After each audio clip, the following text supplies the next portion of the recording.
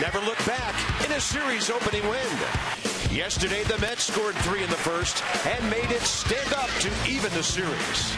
The finale features Jordan Zimmermann and Zack Wheeler on a beautiful Sunday afternoon in D.C.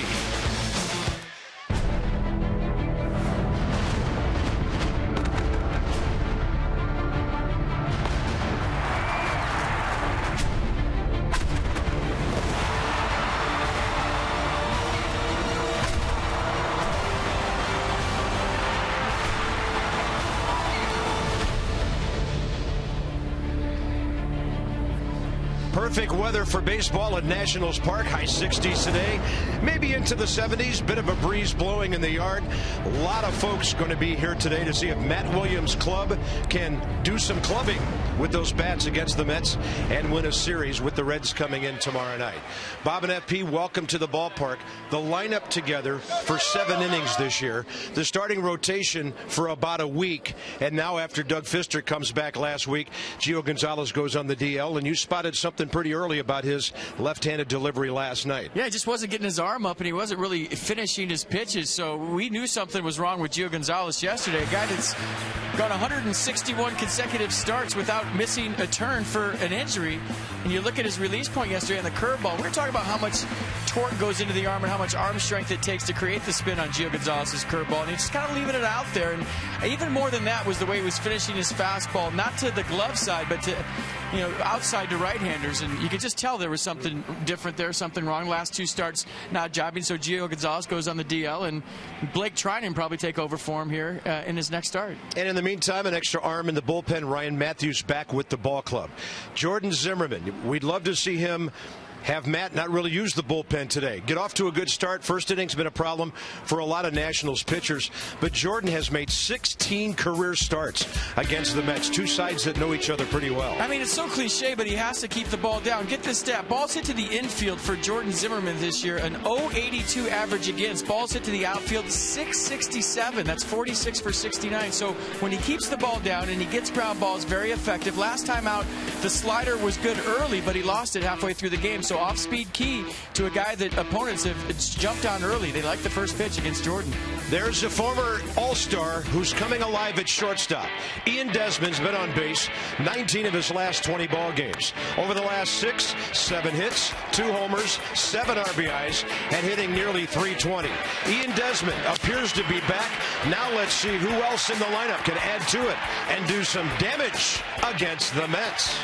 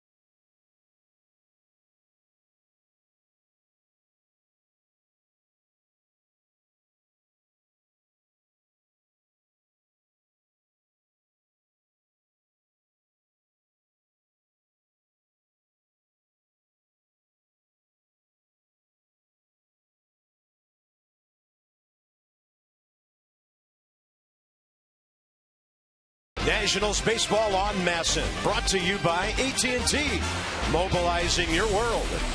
And by Koons, when you're talking cars, you're talking Koons. Rubber game in the three-game series. The Nats are two games over 500, a half game back of the Braves again today. And Jordan Zimmermann will take on the Mets, who are second from the bottom in hitting in the National League. Visit trainsearch.com to find your local Trane comfort specialist dealer. It's hard to stop a Trane, really hard. So very comfortable, bit breezy at the ballpark. 67 on a beautiful Sunday afternoon. The Mets are hitting 229, but they're sixth in runs. And Lucas Duda has actually been much better away from Citi Field. 328 on the road. That's seventh best of any visiting player in the National League, hitting 250 overall. Something about Citi Field not suiting him. He's also three for 18 career against Jordan Zimmermann, who faces the Mets for the 17th time. This is his ninth start of the year, and he's only had three decisions so far. Well, fastball 94 for Jordan. Key for him to keep it down. The slider 86 was good at times last outing against Arizona. Curveball 78, changeup 5% of the time at 86. Just odd to see a guy like Jordan who loves to pitch into ball games deep as a rule only have three decisions in eight starts so far this year. Looking for his 46th career win, trying to even his record against the Mets to 5 and 5. Opponents hitting 444 on the first pitch off Jordan this season, 12 for 27. Eric Young Jr., the left fielder. In the series, one for nine with an RBI and a walk.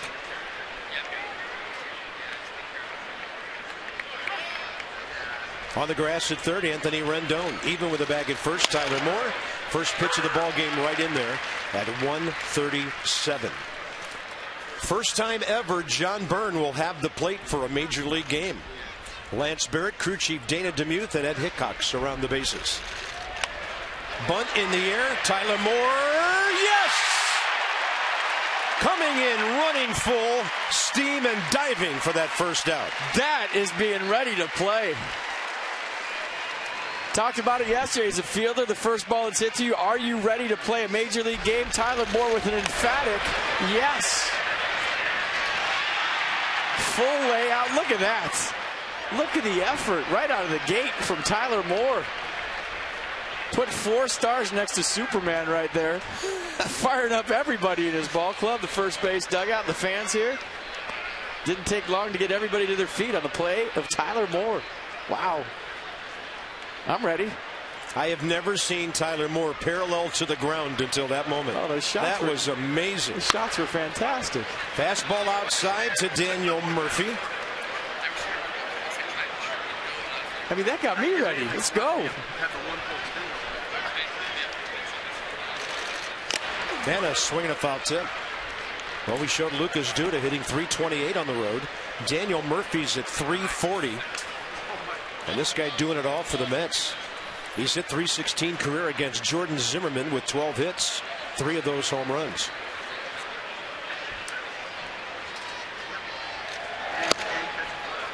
Two and one.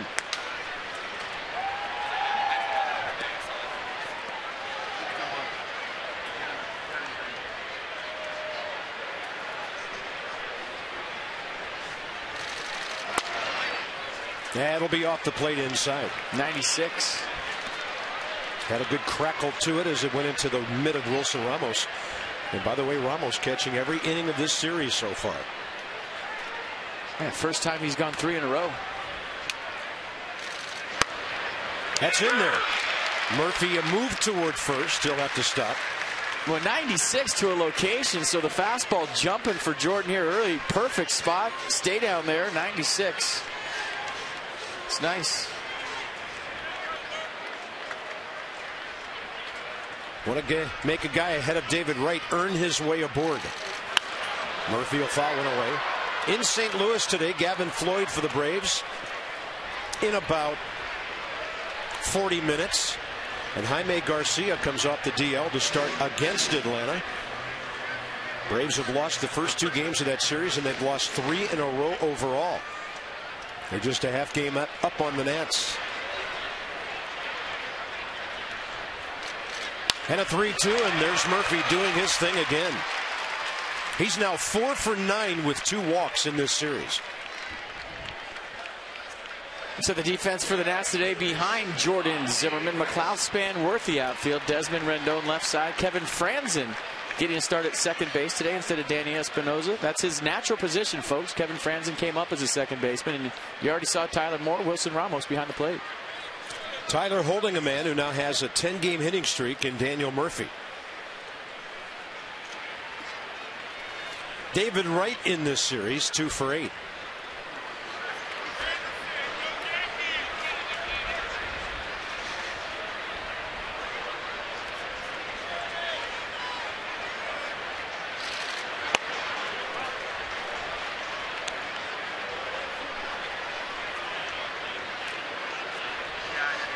Zimmermann's now given up an unusual amount of hits this year.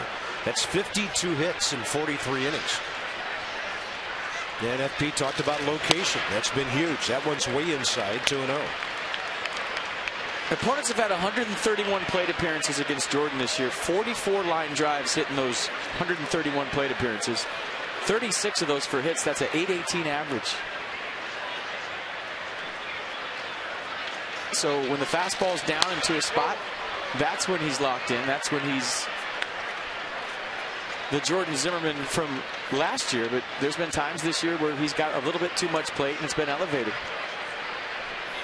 I'll tell you what, though, today early returns, the fastball is jumping out of his hand better than I've seen it all year. 95, 96 already. And as that graphic showed you, hasn't suffered from the first inning problems other Nats starters have. 2 1 to David Wright, and he's a little late for it. No, his first 25 pitches good, just a 186 average against.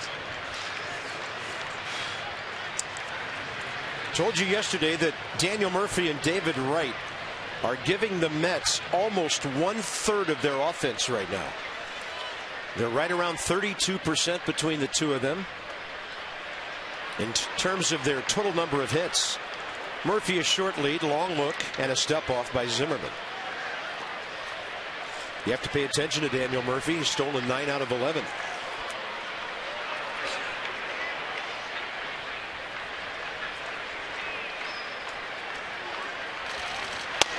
Fastball high and tight. Ramos held it there for a moment. It's a good pitch. Count goes three and two. See what pitch track thinks. You see what Jordan thinks. Not sure what to expect with a rookie umpire behind the plate today. Made his major league debut Friday night. And here he is calling balls and strikes. John Byrne for the first time.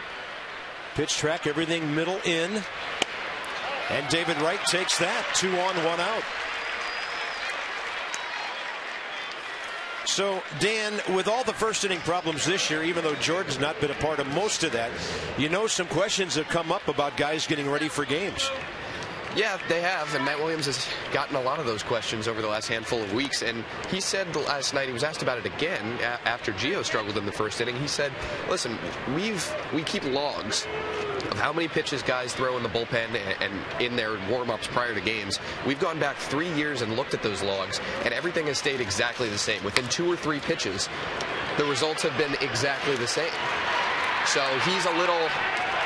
Oh, they got Murphy at third base. So Dan we'll get back to you in the bottom of the first inning. Heads up play by Ian Desmond on what's going to be a 3 6 5 double play. Terry Collins is going to challenge here, at least think about it, after he hears from his clubhouse and his dugout.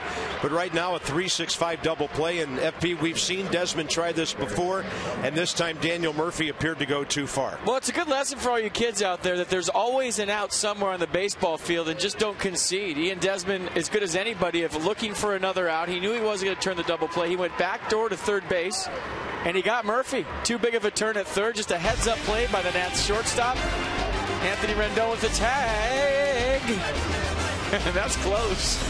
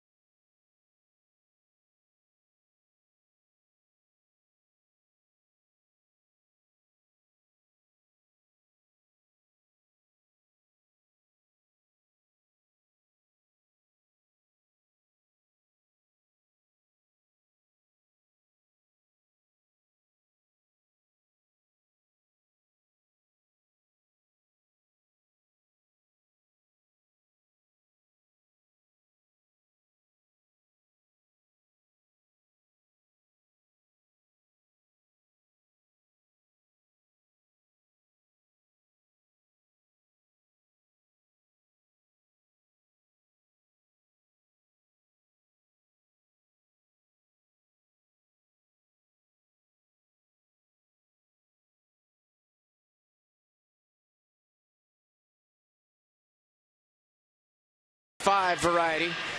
So Ian Desmond knowing that that took a little long to develop, so he arm fakes to first, looks to third, strong throw right on the money, and it looked like he got in there. Or did he put his hand on the shoe of Anthony Rendon and not the base? Watch this. Does his hand go on Rendon's shoe and not to the base? I think this will show it, right? the shoe is not part of the base. And everybody knows that. I watched Zack Wheeler's warm-up pitches, Kurt. Eight pitches, eight balls. Last time out, he walked six guys. He did not throw a strike. And as a leadoff hitter, that's what you look for before you get up there. Is he throwing strikes in his warm-up pitches? And he didn't throw one. Yeah, walked five in his start before that. A guy with a live arm and some control issues on the year. 44 innings, 41 strikeouts, but 24 walks. Denard Span in the series, two for eight with a walk. Both of those hits Friday night. Nothing unusual. The Nats won the game when he was on base. And a slow tapper to the right side for Murphy.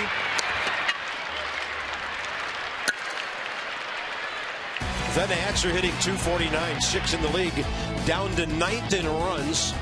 And Span on a season-wide basis, of course, a small sample, just five games, doing okay. The Nats need him hitting a whole lot higher than 236. Kevin Frandsen back in the lineup today. He's at 289 in 13 starts. See the repertoire for Zack Wheeler. Fastball 94, slider 87, curveball 77, changeup 87.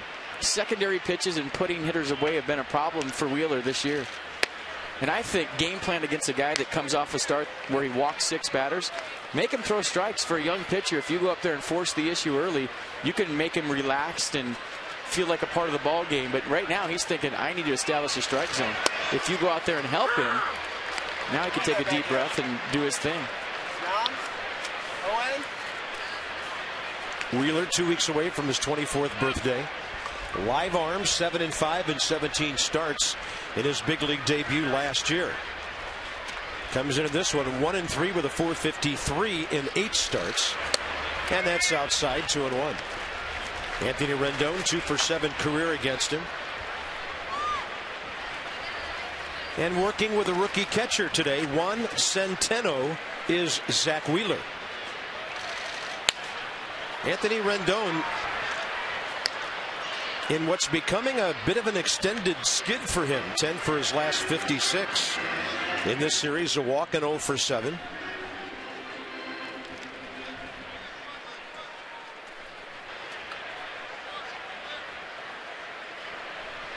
And the 2 2.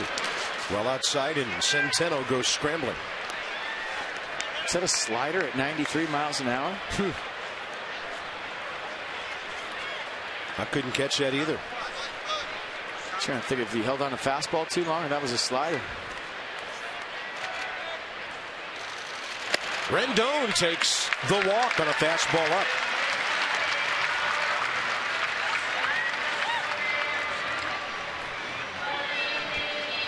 Set the defense for the Mets behind Zack Wheeler today. Eric Young Jr. in left. Juan Lagares. One of the better defenders in center field. Curtis Granderson in right. Tejada Wright. Left side. Murphy Duda right side. And Juan Centeno behind the plate.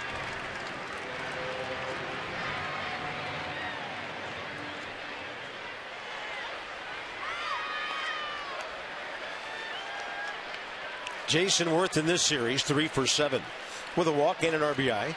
Nothing unusual that he hits well against the Mets. He's nine for 20 against them this year. And against Zack Wheeler career, three for 10 with a home run. The homer came last year, not when the Nats faced Wheeler in the third game of the season in New York. Tanner Roark beat him that day in an 8-2 win by the Nats. And Werth will pop it up a mile high to the right side. Daniel Murphy, second out.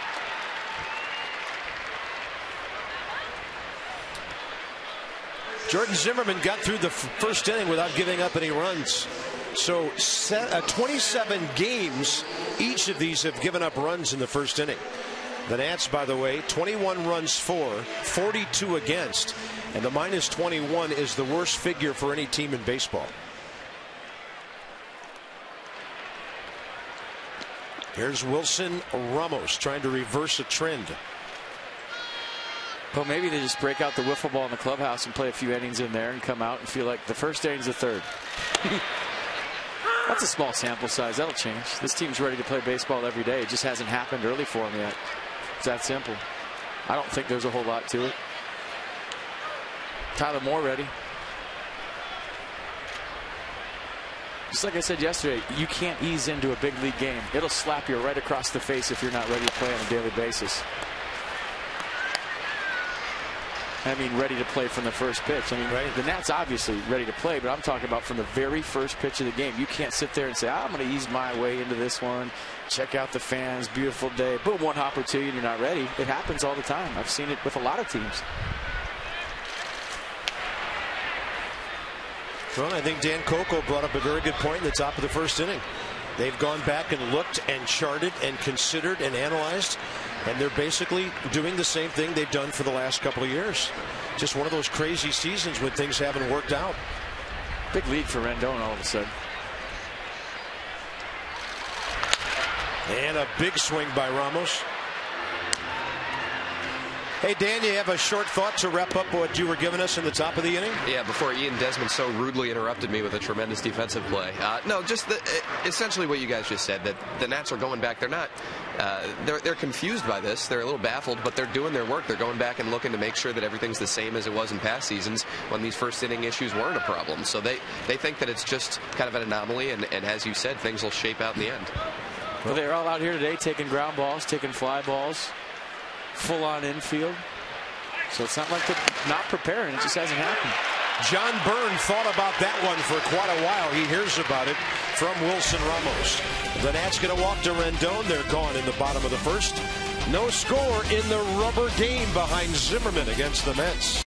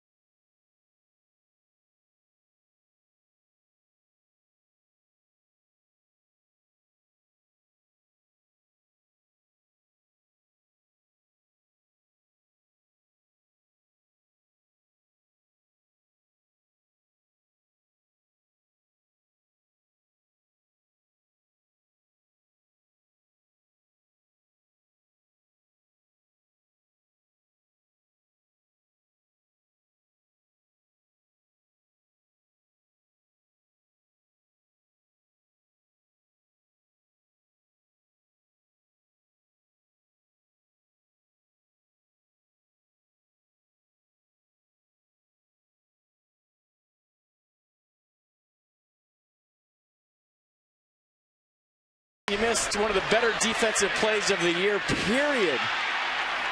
And anybody that told you Timos can't fly, well, they were wrong. Look at that effort by Tyler Moore. And then how about the feed by Tyler Moore? Right on the money to Ian Desmond, looking for an out, arm fake. Across his body throws an absolute rocket to Anthony Rendon.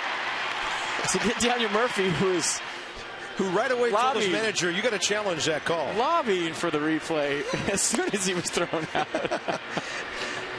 you know, that's a new one. Guys used to look down at the bag. They'd look down at their cleats. Now they look at the dugout and say, let's challenge it because I was safe. Well, you know what's funny about that, Carp? I mean, we're having fun with it, but last year, Daniel Murphy gets up and gets right in Ed Hickox's face and starts arguing with Ed Hickox. And the way the game has changed in just a year, instead of popping up and getting in the face of the third base umpire and telling him he missed it, he looks toward his manager and waves him out. That's how the game has changed. Hmm. Lucas Duda. The Nats put a big shift on here. I mean, it's almost like, Dad, can you come out here and review this instead of. I was safe, Dad. I was safe. I'm not going to argue with the ump. I'm going to call my manager out. To ask for a replay. I don't know if I love that. Not going to lie. No, I can tell you I don't like it at all. And I think something's going to have to be done about the numbers of times managers can come out and nothing results. Hey, if you only get two visits to the mound before you have to take a starter out, maybe only a couple of visits to the umpires with or without an appeal. Lucas Duda pretty much a pull hitter. The Nats haven't played so. A one-two count. Desmond the only guy back home at short. And Duda jacks one to the scoreboard. That is off the very top. Might have a play at second base. Werth a long throw. And it just hit the turf and lost all of its juice. And Lucas Duda is now hitting over 330 on the road this year. Well, Jayson Werth had to get rid of this quick, flat-footed, because he didn't have time to get anything on the throw. He plays it perfectly. Best thing for the Nats is that stays in the ballpark. An absolute missile off the bat of Lucas Duda. I wonder what the hit speed was on that because that ball was scorched. Duda hustling a second, watching the play all the way, and just makes it. And I, Carp, I think you called it perfectly. It hit the grass and checked up. Didn't gain speed, but really lost speed on the hop. One other thing I noticed at the end of that play, third base was unoccupied. And Lucas Duda took a look over there after Desmond had tagged him late. And then I saw a couple of other infielders come dashing in because on a play like that, when you've got the shift on, somebody has to cover third. Yeah. The center fielder is Juan Lagares. If that game yesterday was a hockey game, he would have been the number one star. He did everything. He's going to advance the runner here.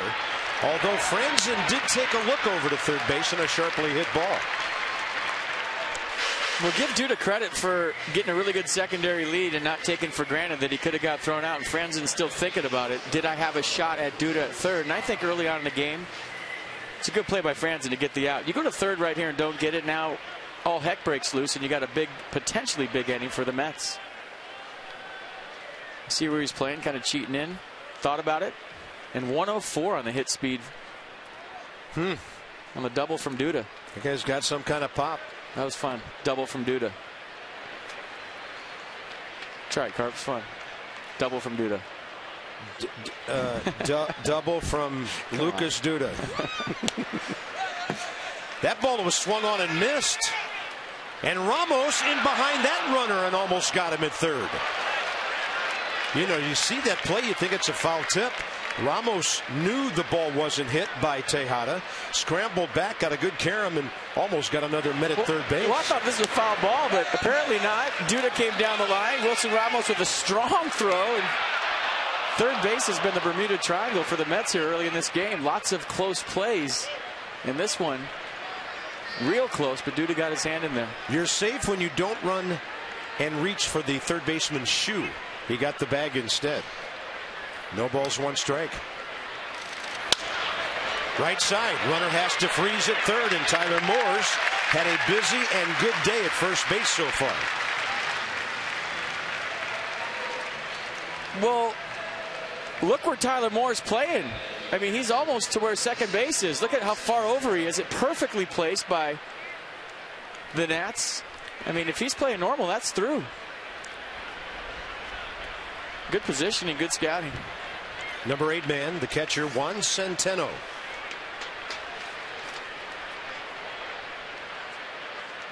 He's only had two at bats in one game this year. A strikeout, a walk. He's 24 years of age from Puerto Rico. Got 10 at bats for the Mets with three hits and RBI in four games after a September call up last year. And that ball slammed off the barrier over on the left side. Not a power hitter, in seven years in the minor leagues, he hit two home runs. Yeah, give defensive coach Mark Weidemaier a star for having Tyler Moore in the right spot right there to keep this 0-0. Very exciting game out of the gate. That is unreachable for Frandsen.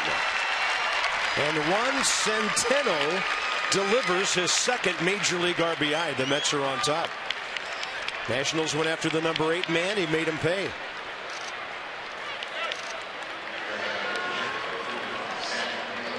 Yeah, Frandsen up the middle. And the off-speed pitch Good effort by Kevin. Just out of reach, and that score is due to 1 0.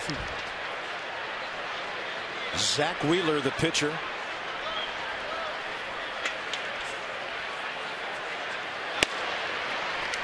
Oh for 10 this year. 4 for 40 career with three RBIs, and he just took a home run swing.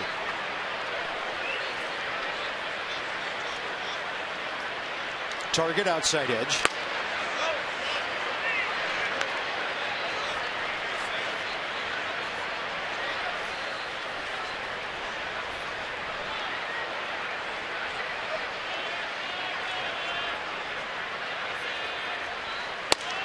That's on the inside corner. Mercedes-Benz will track it. Good location. Ran it back just a little bit.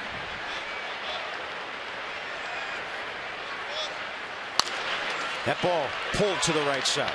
Frandsen on the move. And the Mets are gone to the top of the second, but a run after the leadoff double. Mets pitchers now one for 70 on the season. That more often, would you?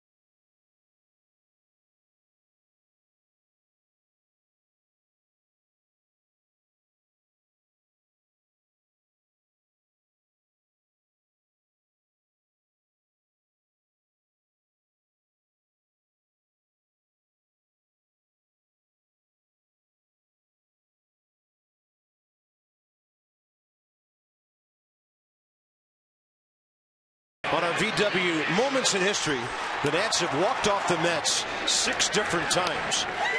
The only frequency more than that in Major League Baseball is the Marlins walking off the Mets seven times. I mean, Pudge, Zimmerman, Desmond, Zimmerman again, even when they break a bat. It's just happened time and time again, and Jonny Gomes looking great taking off the helmet there. Bryce Harper checking in. But as usual, it's Ryan Zimmerman, and that's part of the moxie the Nats miss with him out of the lineup. VW with many moments in history as the Nats have walked off the Mets six times.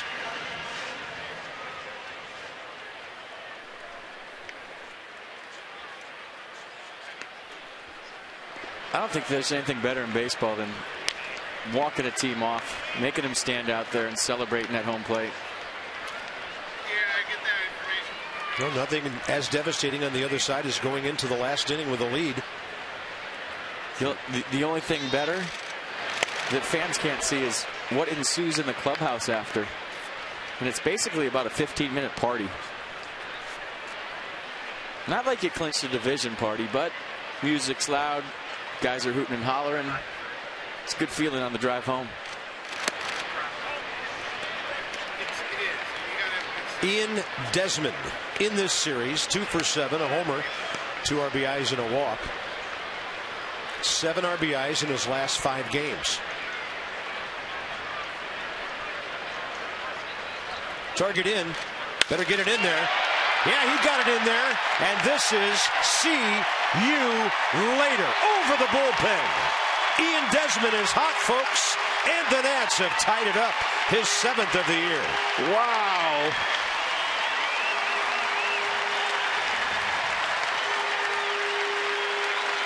He's getting into some at bats. Feet are slowing down, seeing more pitches. And all of a sudden, Ian Desmond carrying the ball club from an offensive standpoint. And this was absolutely crushed. Head down, knows he got it. Not showing anybody up. And I thought this had a chance to get up in the red loft when he first hit it. A little breeze, a little breeze coming down half street might have stopped it a bit. That was crushed. Crushed. Team leader RBIs now with 25. Here's Tyler Moore. Zack Wheeler just given up only his fourth homer of the year. He keeps the ballpark closed as a rule. Gave up a first inning shot to Brian McCann against the Yankees last time out. He had gone 32 innings without giving up a home run. And he went 31 innings from the middle of August till September 6th last year. And there goes the no hitter in a big way. Tyler Moore sits safely in four out of five games. And he skies one out to right center. Curtis Granderson waiting for that. Let's watch this a few more times. I mean, you talk about just hitting one right on the screws and getting every bit of it. Head down, out front. Listen to it. Now watch it. Yeah, try to catch it. He nice did. play. He did. Jose Lobaton, unofficial helmet taker offer guy. He's getting better at it. Yeah, Jose a little smoother that time than his double take the other night. Kevin Frandsen starting his 14th game of the year for the Nats. And as a starter hitting 289. Might have got quick pitch right there. Hasn't faced Wheeler before. One ball, one strike. And a two hopper to short. Ruben Tejada, two outs.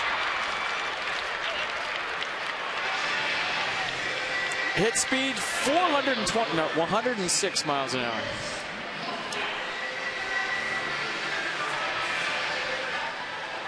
And Duda's was 104, so Ian Desmond won nothing.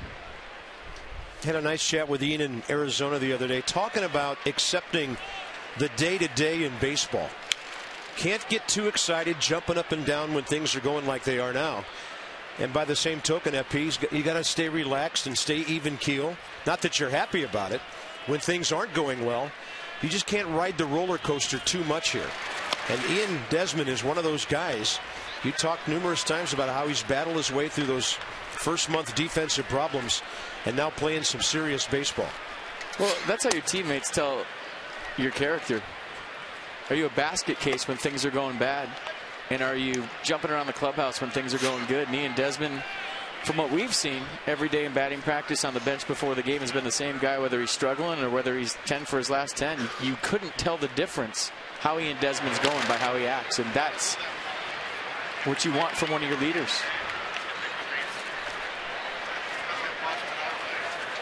We Nate McLouth. We used to call them happy hit guys, Carp. they had a couple of hits. They didn't care if, if we won or lost. They'd be chirping in their locker after the game. 2-2. Ooh, that's close. And consequently, if the ball club won and they didn't get their hits, they'd be sulking in their locker after the game. And those are the guys you do not want on your team. Nate McLouth, four hits in his last five games, half of his season total. He'll reach out and spoil that one. Early returns on John Byrne in his whole plate debut as a major league umpire. He is not really wanting to ring anybody up on a called third. We got Ramos last inning. Truck told us the pitch track liked that pitch. It was a strike. Nate McLouth struck out swinging. Big time noise by the leadoff guy in the bottom of the second. Ian Desmond getting all of one to left center. It was a no doubter right off the bat. So that's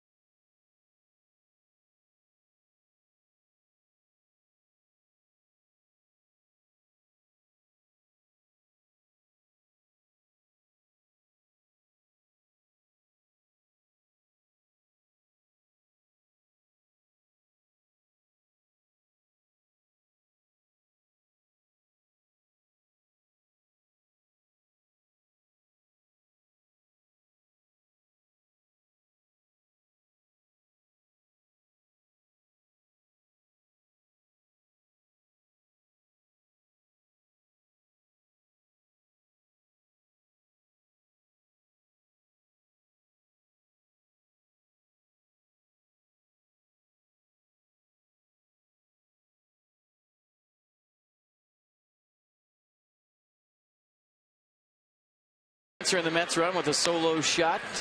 Hey, bring your group gathering to Nats Park. Hey, the bigger the group, the bigger your discount. Check out the Nats on nats.com slash groups for more information on all group theme nights as well as additional group experiences and benefits. Or call 202 675 NATS. 202 675 NATS. See red people? There they are. Big crowd.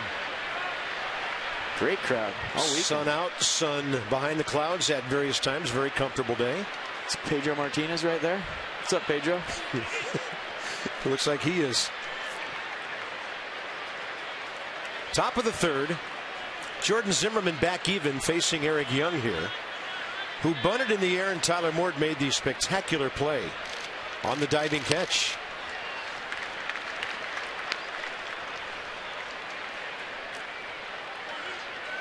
Eric Young, three for 10 career against Jordan Zimmermann with a pair of walks. Rendon even with a bag at third against the speedster. He tried to bunt his way on first time. And it's outside 1 1.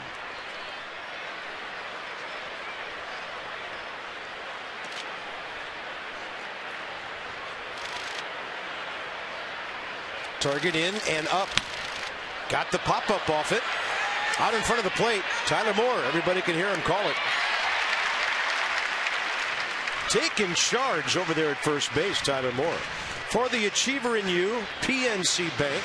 And we check in on Michael A. Taylor from Fort Lauderdale. Six rounder back in 09. Had a chance to visit with him in spring training. Very intelligent, articulate young man who's got speed and power coming into this year. 27 minor league home runs, 94 stolen bases. 6'3, 210. This young man looks like the complete package. Well, he's so ready. Call him up. It's locked in. 10 home runs, 87 RBIs at Potomac last year. Doing the job at Double A Harrisburg now. Nothing sweeter than a one pitch out. Daniel Murphy over to the right side. Just as a reminder, as you enjoy a cold one, to look forward to Miller time later in the game. Brought to you by Miller Lite. Kurt, I'm going to put you on the spot. Again? And if you get it wrong, I, I got it way wrong. Pedro Martinez years with the Mets. What years with the Mets? No, just how many? Oh. I'll say I know I know he pitched against the Nats in the early days of Washington. I'll go with my producer who couldn't resist the temptation to whisper in my ear. Oh, he tells four. you. Yeah, I, would, I thought it was less. I, I saw was- that Pedro Martinez jersey down there. I'm like, I was thinking two years with the Mets. 2005 through 2008. Mm-hmm. Well, the thing I remember about Pedro when he faced our ball club, when the Nats got a couple of guys on base, he had the ability to reach back and, as they say, get that little extra and get out of the inning. Up the middle, Frandsen trying to bounce it over to Tyler Moore, and David Wright's going to get himself another infield hit. David Wright has three hits in this series. One's a blooper, and the other two are little bouncers on the infield. I think Kevin Frandsen threw that one a couple steps. Maybe before he wanted to because of the speed of David Wright. A lot of people don't realize David Wright runs very well, so Frandsen in a hurry on a ball that was on the ground a long time. Yeah, that ball took a lot of time to get out there. I don't think Kevin had a chance. No. Curtis Granderson now. Get into that crazy 3-6-5 double play ending the first inning when Ian Desmond picked off Daniel Murphy at third base. That's right in there for a strike. Granderson career 0 for 3 with a walk against Jordan Zimmermann.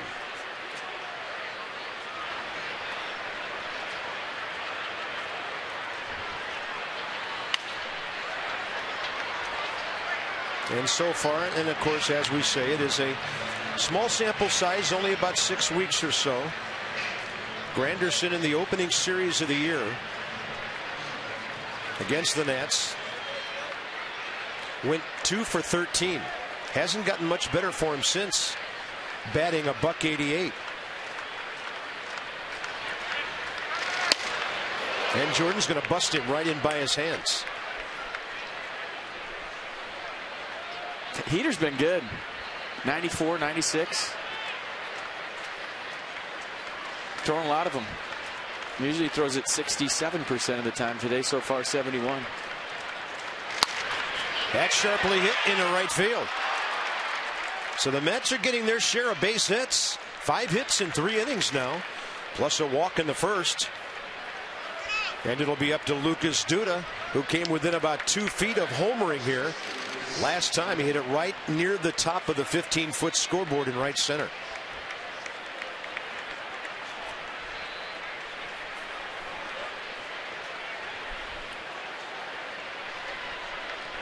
Only Duda's fourth hit in 19 career at bats against Jordan Zimmermann. Shift not as dramatic this time. Frandsen is in short right field. And Jordan steals a strike with a breaking ball. This time Desmond up the middle, the shortstop side. And Rendon over at third base because of the base runner David Wright. Can't just give him third. Ooh, Zimmermann gets the call up uh, just under the ceiling of the strike zone. Let's check it on the Nissan pitch track. Boy, Wilson Ramos's glove is making a loud noise today on the fastball from Jordan Zimmermann. That tells me a couple of things. Obviously, the velocity mid 90s, but he is really staying through the pitch to where it's every bit of 95 when it gets to the plate. A lot of late life in the heater from Jordan here today. That deep thud in the catcher's glove. 0 2 pitch. Ramos wanted that ball down and away. It was up, but tailing away. That's about all Duda could do with it. Braves underway in St. Louis. They're 22 and 19. The Nats are 22 and 20. And the Marlins in a virtual tie with Washington at 23 and 21. They're at San Francisco later. Lucas Duda's been tough with men on base.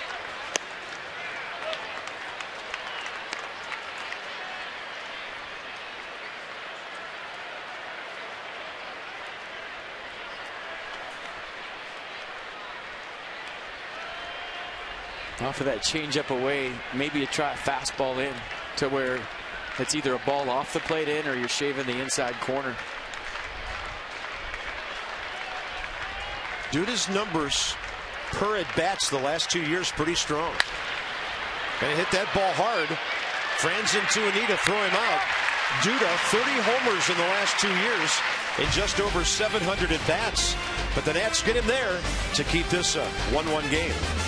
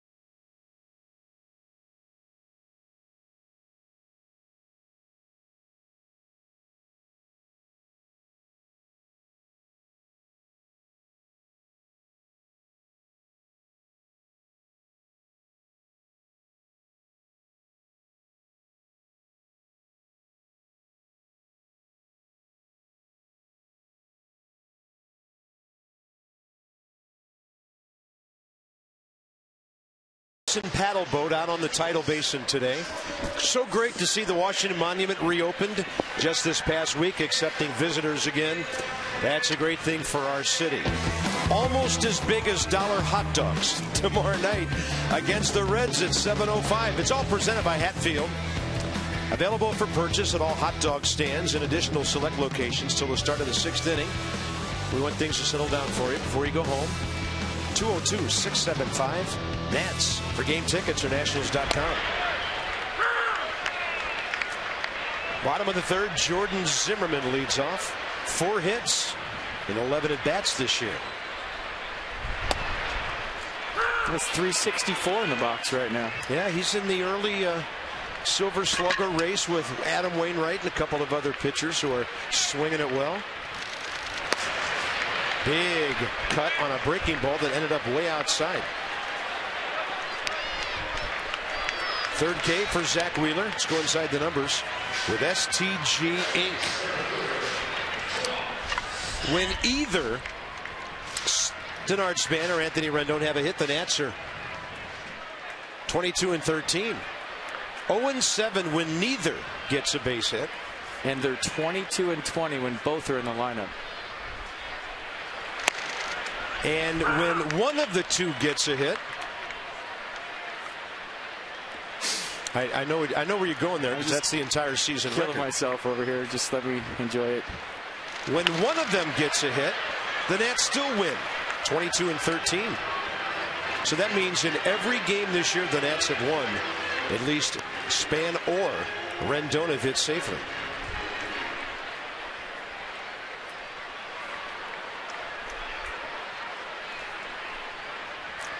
They're 0 for 1 with a walk today. Span a ground ball. Rendon based on balls after that in the first. 0-2 pitch. Zack Wheeler goes up and away. Well, Denard's a tinker with his swing, and he's always trying new things, new stances, new approaches, and when he finds that one that works, you know, that's going to be a comfort to him because you can just stick with it. We've seen him do two or three different things already this year. Freddie Freeman just homered with two outs in the top of the first, and the Braves have an early run at St. Louis.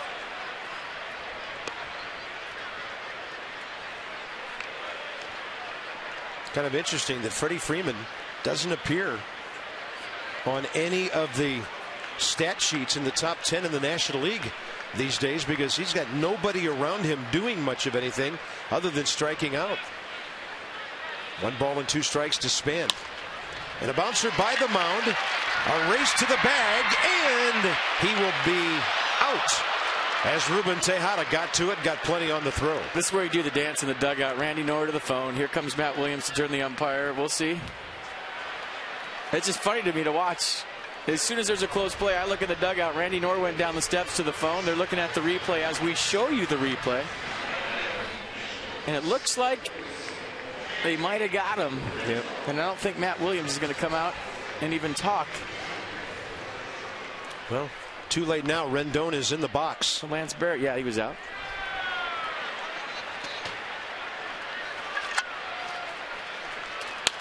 Rendon goes up ripping, took a pretty good cut.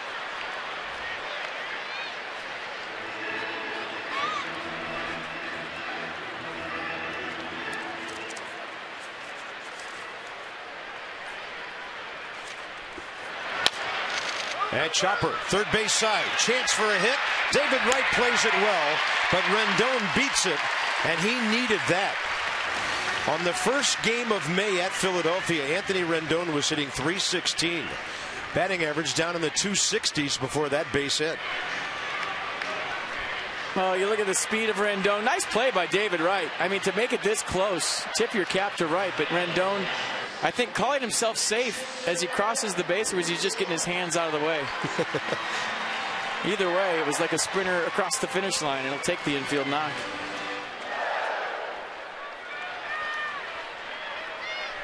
Keeping an inning alive to get Jayson Werth to the plate. A Mets nemesis this year with nine hits. I mean, based on that last stat we just showed about Span and Rendon, if Span was safe, the game would be over, and I would just go home because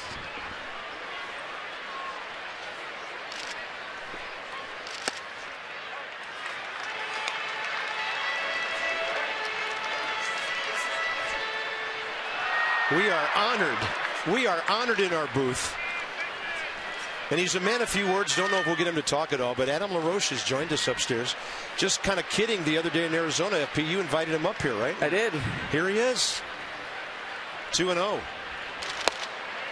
That is a fastball on the inside edge. And the count's two and one.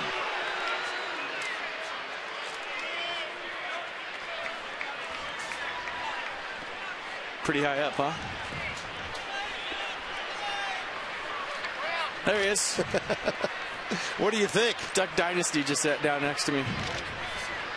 He's always wanted to see this. He means, of course, you and I working. Yes. And we're going into the Jayson Werth at bat here with a count of two balls and one strike. The Nats even on the Desmond home run. And a front door breaking ball stays inside three and one. How you feeling? Adam says pretty good. We'll get a we'll get a headset on him and get a comment or two here. I kind of like the silent Bob routine. Just leave him sit here. And we'll talk to him without a headset on. Three and one to Werth. Outfield plays him straight away. And a front door breaking ball again, and Jayson slammed that one right off his foot. Testing one, two, three. Can you hear us? Yeah, you got me. Yeah, yeah we got right. you, Adam. We live. Hey, how's how's the leg? I know you've been uh, the first week or so. It's a lot of rest, right? Since you went on the DL a week ago in Oakland. It's feeling better. Feeling a lot better. Got to get on the treadmill today, move around a little bit. I'm uh, I'm hopeful for Sunday. I think that's when I'm eligible to come off. So that, that's the day I'm shooting for in an old stomping ground of yours, PNC Park. Yeah, that's right. Jayson Werth's going to have to walk this one off a little bit. That one really came straight down, slammed him on the foot, and then went rifling up the third baseline. I'm going to check it out one more time. Where'd it get him? Oof. Right on top of the foot. Lower ankle. Uh, he's all right. Those don't hurt. Tape an aspirin to it? Those don't hurt. 3 2, and on the move is the base runner Rendon. Deep short, dropped by Tejada. Thus, he loses any chance to make a throw.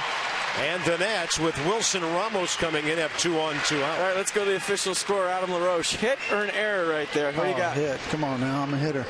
Well, I'm you saying get, you get a pitcher up here, and it's that's a different story. Well, the fact that Rendon was running on the play, now the force is off at second base, so the official score has to say, "Would he have thrown all the way across to get Jayson Werth? And I say no. He must have been a hitter too, because we can justify anything, can't we? Yes, absolutely. That's a hit every time. They called it an error. Yeah, they just called it an error. So you are officially 0 for 1 as a broadcaster. What, what, do we know? Thank you. Hey, where is the official score, by the way? Like One level below it. no, no, no, I, am I allowed down no. there? One level below is probably not during no, the game. No, I'm going to say I'm no. kidding. He does a great job. Yes, he does, as far as you know. Here's Ramos.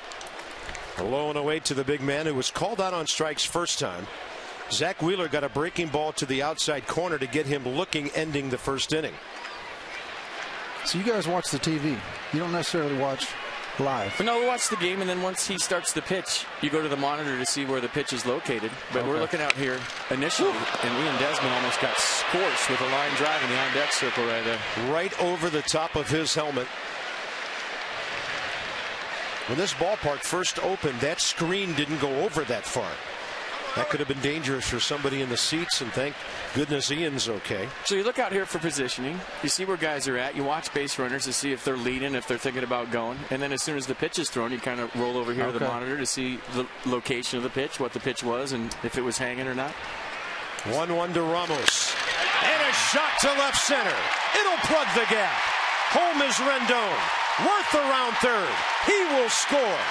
The Nets on top by two as Ramos delivers with two outs. Got a little rally LaRoche going up here. I love it, man. That's that's a good view up here on a double in the gap, isn't it? You can tell right away, right? Oh my gosh. And now you go to the monitor and you check out the pitch, and we're going to see where this pitch was. Go ahead. That's a that's a backup spinning cement mixer slider, isn't it? Yep. Split the gap. Jayson Werth on the backside. Bob Henley with a good send right there. Two outs. Not a problem. Werth with a big head of steam and a lot of hair. and he scores easily, and the foot's okay. And the Buffalo starting to heat up. The hand looks like it's getting a little bit stronger. Oh, it's fun to watch, man. You guys see when he gets rolling, it is it is something else. Here's Ian Desmond, and he's locked in at the moment. Fastball at the letters for a strike.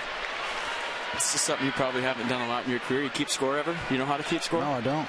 What is it? The scorecard. when you put double, two RBIs, and then you score the two runners. Wow. It's great. How about how about his uh, homer? No doubter. That one's off the end of the bat, popped up to the right side.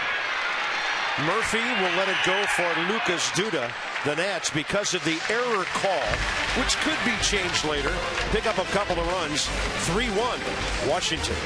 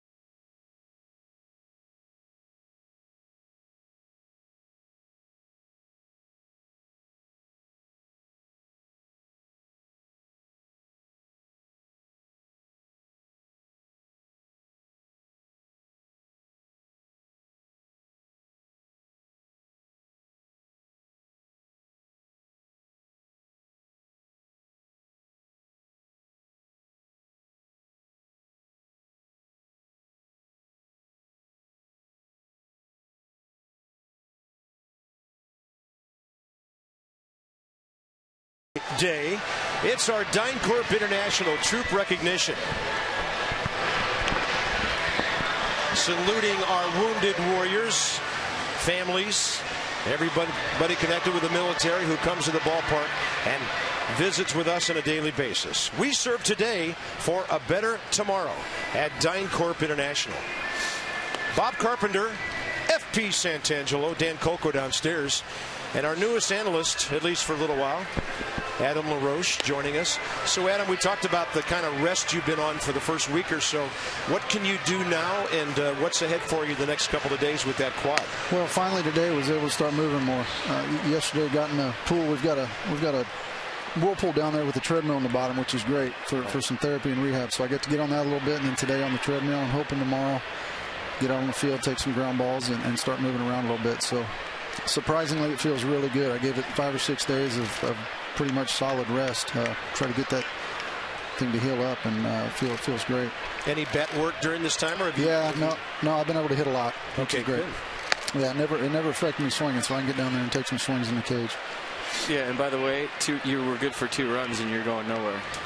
hey, as so, long as it takes. Yeah, just stay up here. I'll stick around. Same seats. You know, I wanted, I really wanted to get up here and see if, if this was as easy as you guys made it look.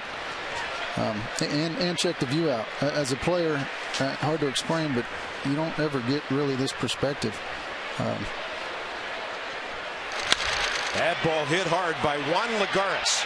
And Denard Span will run it down at the edge of the outfield track. Well, the one thing we do see up here is routes to balls in the outfield very well. And for a couple of years now, I've seen Denard Span take some of the cleanest routes I've ever seen a center fielder take. And you see it firsthand every day. But look at it right here. I mean, this is what we see every day. I do. I get to see it. You, you really don't get to appreciate how much ground they cover, uh, like you guys do up here with this view. I mean, it looks like it looks twice as big from up here as it does ground level. So you know, I get to see them running, but up here you can really see them closing that gap. That's impressive. That's why I know I'll never be an outfielder. Here's Ruben Tejada. Jordan Zimmermann, whether it's downstairs or upstairs, has a crackling fastball going today. Tejada Late on a swing first time, grounded out to Tyler Moore, covering first base. And the Nats had the infield in. So it looks pretty easy from up here. And the one thing as a former player you have to remind yourself every day is how hard the game was. That's right. And when you weren't good like I was, it's easy to remind yourself of that. Oh, that's right. 0 2 in a fastball. Got Tejada's feet moving around. Jordan Zimmermann, first three innings, 47 pitches, 33 strikes. He's gone 16, 15, and 16 with his innings and his pitches so far today. One two didn't miss by much upstairs. It's one of my favorite pitchers to play behind right here. You guys see why. I mean, it's just here it is, hit it, here it is, and rock and fire. Just keep pounding the zone with a fastball, and you wouldn't know if he's throwing a perfect game or he's getting shelled. No, you got to love it. Not afraid of anybody. And a ball hit pretty well to left. Going back, Nate McLouth. And he will have his on the edge of the track for the second out. Keeping it in the yard. And Adam, FP and I talk about this all the time. This ballpark's starting to play a little smaller than it was a month ago, right? A little bit. It typically does. It needs to uh, needs to heat up a little more around here. Well, that ball Egan hit in July might have got to the red loft. Yeah, there's no doubt. There, there's no doubt. And we've we've actually hit a couple last couple days to the track that look like they're gone, at least from dugout, and, um, needed to warm up just a little more. I'm sure the pitchers don't want to hear that, but no, but you're a hitter, and that's a perspective we have. You want the ballpark to play small, especially a guy with a pop like you have. 2 0 now to the catcher Juan Centeno, who came up with two outs, and Duda at third base two innings ago and got that base hit that put the Mets on top. His second big league RBI. How about Timo's play in the first inning? How about that? we got, hey, we got the right guy at By first way, today, don't we? we have we, got we got something for you on that shortly. All right. Three zero. I mean, I don't think I a lot of people guy. realize how good he is defensively over there. And you're a former Gold Glove winner. You got to appreciate that. No, I do. And, and, again, like anything, the more you do it, the more comfortable you get. So he's getting some consistent time over there, and you got to get better. You know, I was listening to you guys yesterday, and you were talking about as a starter, his numbers at the plate, uh, three something. That's yeah. really impressive, and it goes to show you how hard pinch hitting is. Three and two now as Zimmermann battles back to fill the count. Even his numbers overall, and I was looking the other day, in 366 at bats, 17 home run, 56 RBI, and that's spread out. Right. There's a lot of pinch hits in there. There's right. a lot of starts once a week. Bouncing ball left side, Ian Desmond. It's a one-two-three for Jordan Zimmermann. And when we come back for the bottom of the fourth, Tyler Moore will lead off, and Adam LaRoche will analyze one of the best plays of the year as he comes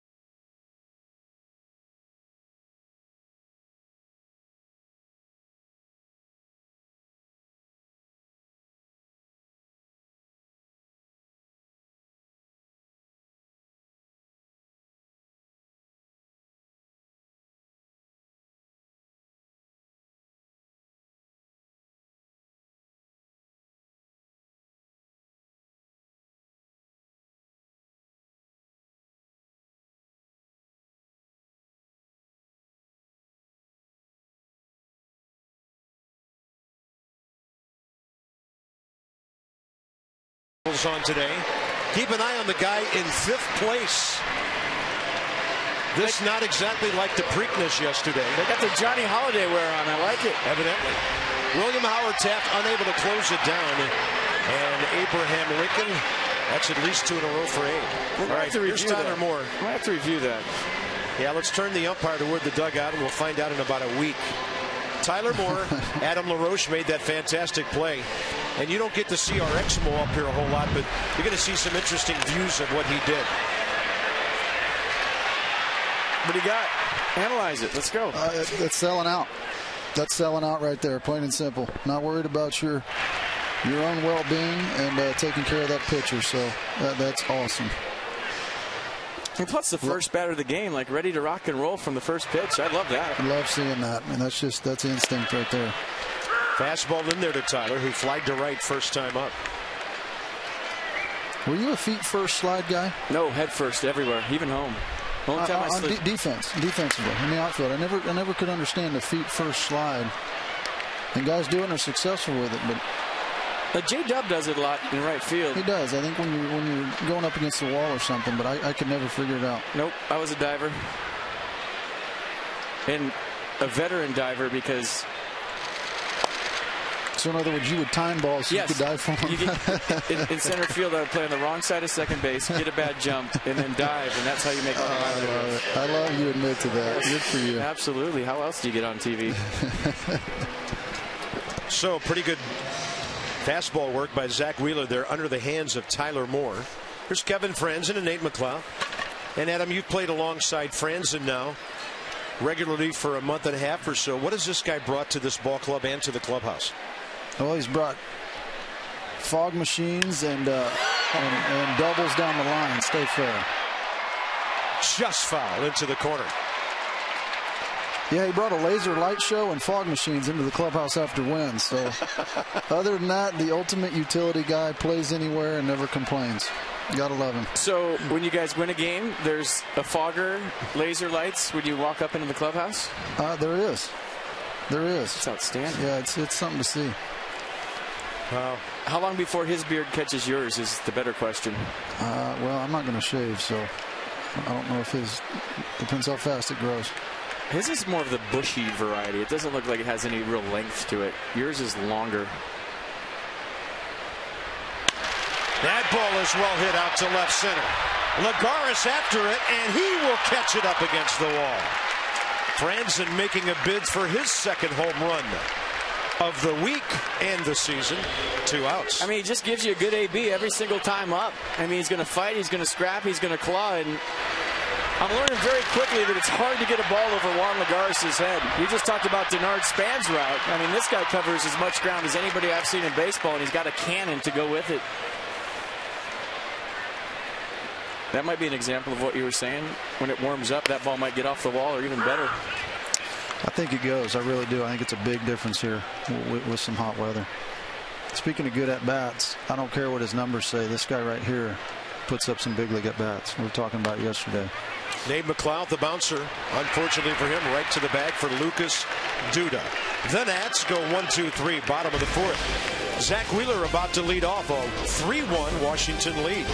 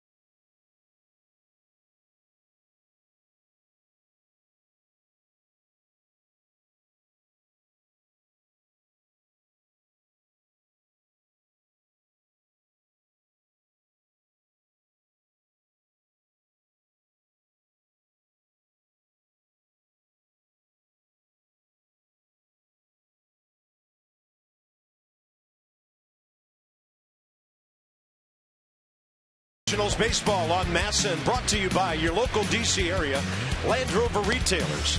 Visit DCAreaLandRover.com for special lease and finance offers. And by Ocean City, Maryland. Put your vacation days to good use in Ocean City, Maryland. Book now at OCOcean.com.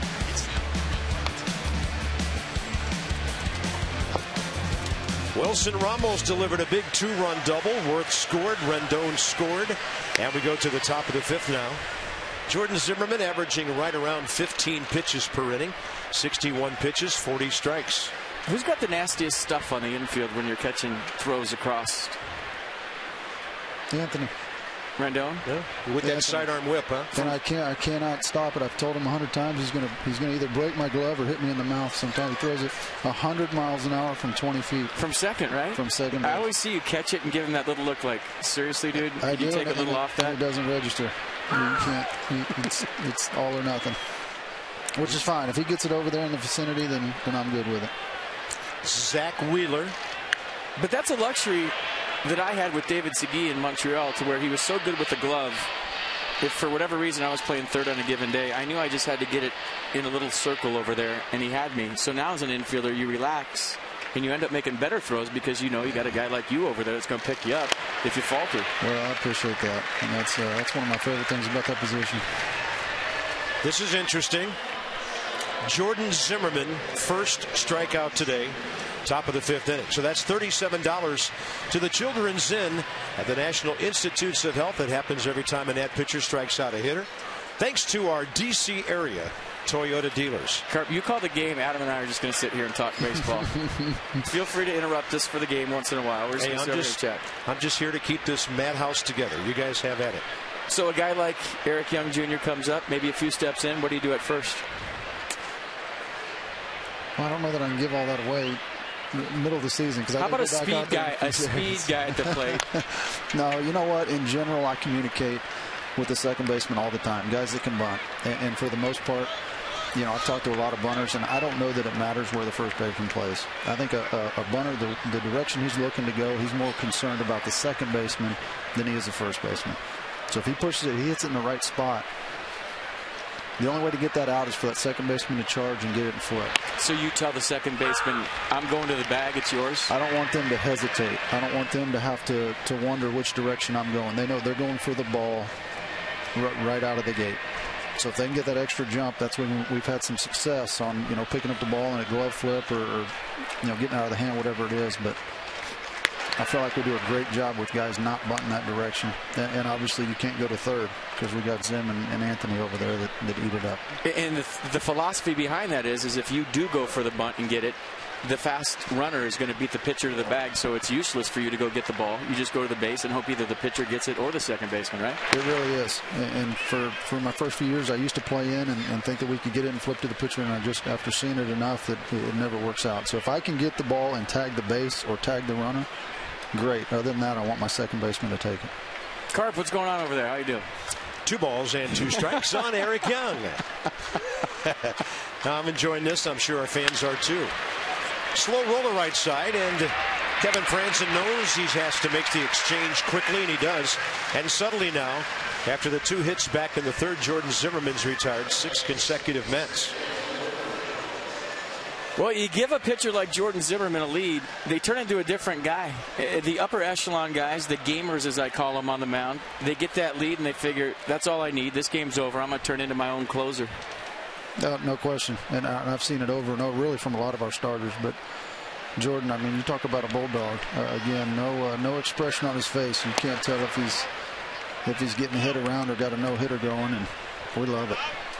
Adam, uh, you and Ryan Zimmerman remind me of each other a little bit because your personalities, you guys kind of low key it, but you're quiet leaders with the ball club and in the clubhouse. How much have you talked to him during his downtime here, and how's Ryan doing? Uh, we talk quite a bit. Uh, he, Ryan's great.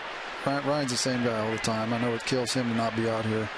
Um, the hand injuries are the worst. I mean, he can't do anything. He can't. He can't throw. He can't swing. Uh, you sit around and, and, do what I just saw him doing. He's, he's just sitting down there flipping the ball and, and being a cheerleader. So I know it's frustrating. Uh, he's getting closer, and, and everybody knows we need him in the middle of that lineup. Two balls, one strike to the locked in Daniel Murphy. who in this series is four for 10 with a pair of walks. Line drives all over the yard from this guy. Do you think Werth was going to catch his ball Friday night? Ooh, I, am glad he did. that was close. I'm glad he did. That was that was that made me nervous. How, how tall is that fence? Because it didn't look like he had to jump hardly at all, did Right at the bullpen, it's only about six feet. So the top of his cap would be right at the top of that. Okay. And then out in center, it's about eight feet there, ten feet in left center. So it's it's a quirky ballpark to a certain extent, but not so that it gets silly. There's a ball right at Jayson Werth. If he's 6'2", he'd still be playing. and a one, two, three, top of the fifth. We're enjoying Adam LaRoche in the booth today.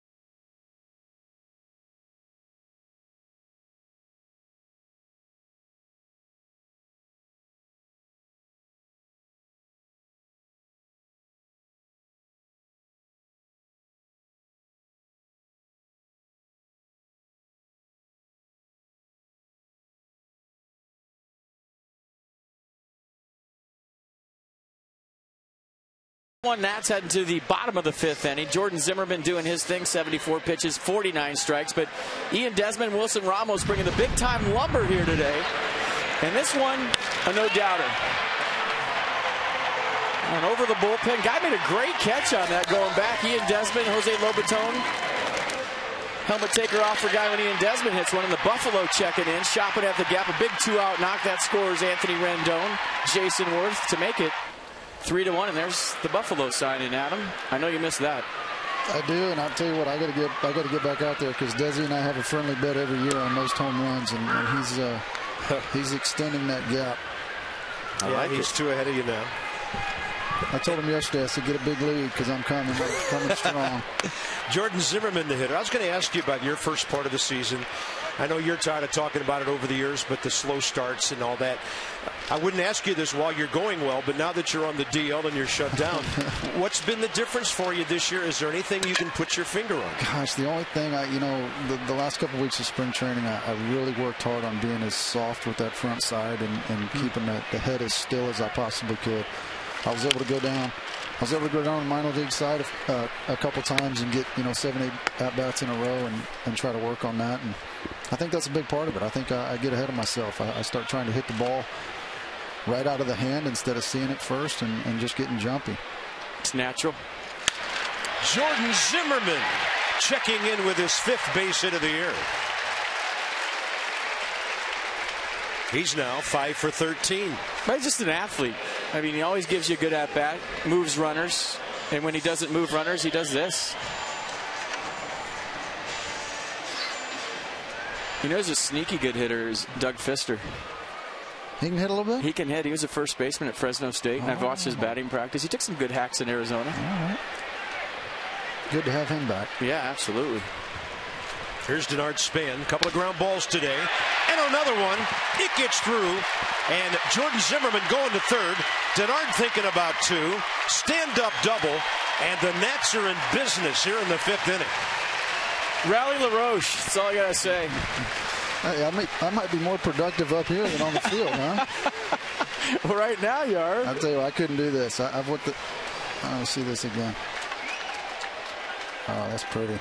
I mean, last year, Adam, I mean, you know this better than anybody. When Denard Span was locked in late, the Nationals were tough to beat. You guys, I mean, he goes, you go. I know that's a cliche for a leadoff hitter, but I feel like with you guys, it's absolutely true. No, you know how important that is, really, for any team. Your, your leadoff guy is crucial. They're getting the most at bats uh, and, and, setting the table. So again, yeah, when he's rolling, we're, scoring a lot of runs. We, we need him. Uh, we need him on there. Terry Collins bringing his infield in, can't afford to get much further behind. And Anthony Rendon does a good job of laying off a front door breaking ball. Maybe this will get Rendon going, as I mentioned, coming into this game. 10 for 56. He's walked. Then he got that infield hit that he beat out. Kept that inning alive. I don't know that I'd bring my infield this far in if I was Terry Collins, just for the fact that you have your pitcher at third base, and with nobody out, I don't know that you go contact play and take a risk of your pitcher getting hurt here. So he's, he is playing the middle halfway, but the corners are in. And I would think Matt Williams would wait till one out before he puts the contact play on, but we'll see how it plays out. What a rip by Rendon. Now, you always assume here as, as an infielder that they're probably not going to go. I mean, you've got to be ready for it, but especially pitcher running, I agree. I think you could play double play depth and, and still have time you know, right in for the possible bunt. I don't think Rendon's bunting in a 2-1 count. If I was David Wright, I'd give myself a couple steps here and maybe even do it at first base too.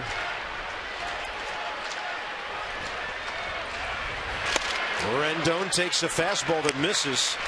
Wheeler has pounded him inside on three pitches in this AB. He's taken them all. I want to go on the record here and say this guy's going to win at least one batting title before this is over. I like it. It's one of the most impressive youngsters I've ever seen. I don't doubt that a bit. And after this pitch, maybe you can tell us why. Why?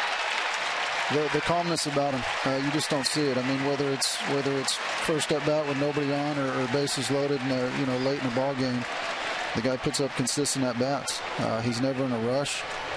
Um, just just has a knack for slowing the game down and makes it look way way easier than it is pretty quick for pretty quick from A to B with the hands too. Oh, lightning, lightning quick. Uh, you guys have seen how far he can hit some balls, and yeah, he's an all-around hitter. And going to be that way for a long time. That's Dan Warthen, the Mets pitching coach. So interesting today because we talked about the control problems Wheeler had had. Six his last start, five before that. Only two today, but both times Rendon setting the table for Werth and Ramos. So if you're Jayson Werth here, what's your game plan as you look at the STG numbers? Zack Wheeler's walks per nine innings. A guy that's young and still trying to establish a strike zone, especially with his secondary pitches. But if you're Jayson Werth walking up here right now, what are you looking for? Well, you can get greedy right here. This is this is what they call keyhole in a pitcher, and he's looking for something up, out over the plate, and something to hit a long way. 3 1 ball game. Nats with a chance to bust it open here, fifth inning. And getting the call, Wheeler on the inside corner from the rookie umpire, John Byrne. A pretty good pitch by Wheeler. I mean, if you're Jayson Werth, you're looking for something right down the middle that you can drive. This is a sinker, two seamer to a corner. Might have been a little off the plate. You definitely don't want that 0 0 with the bases loaded. Looked like ball one on the Mercedes Benz pitch track. Werth gets jammed into short center field. Who's going to take it? Murphy grabs it. Throws it right back in on the fly to Juan Centeno, the catcher, one out. Same pitch, got in on him a little bit. He's frustrated with that.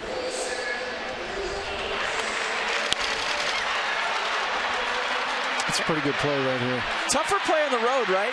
That's a really good play, yeah. With the fans cheering because you really can't hear each other communicating on that. That's right. You got three guys converging right there. Not sure who's going to take it and hung in there. Unfortunately, made the catch.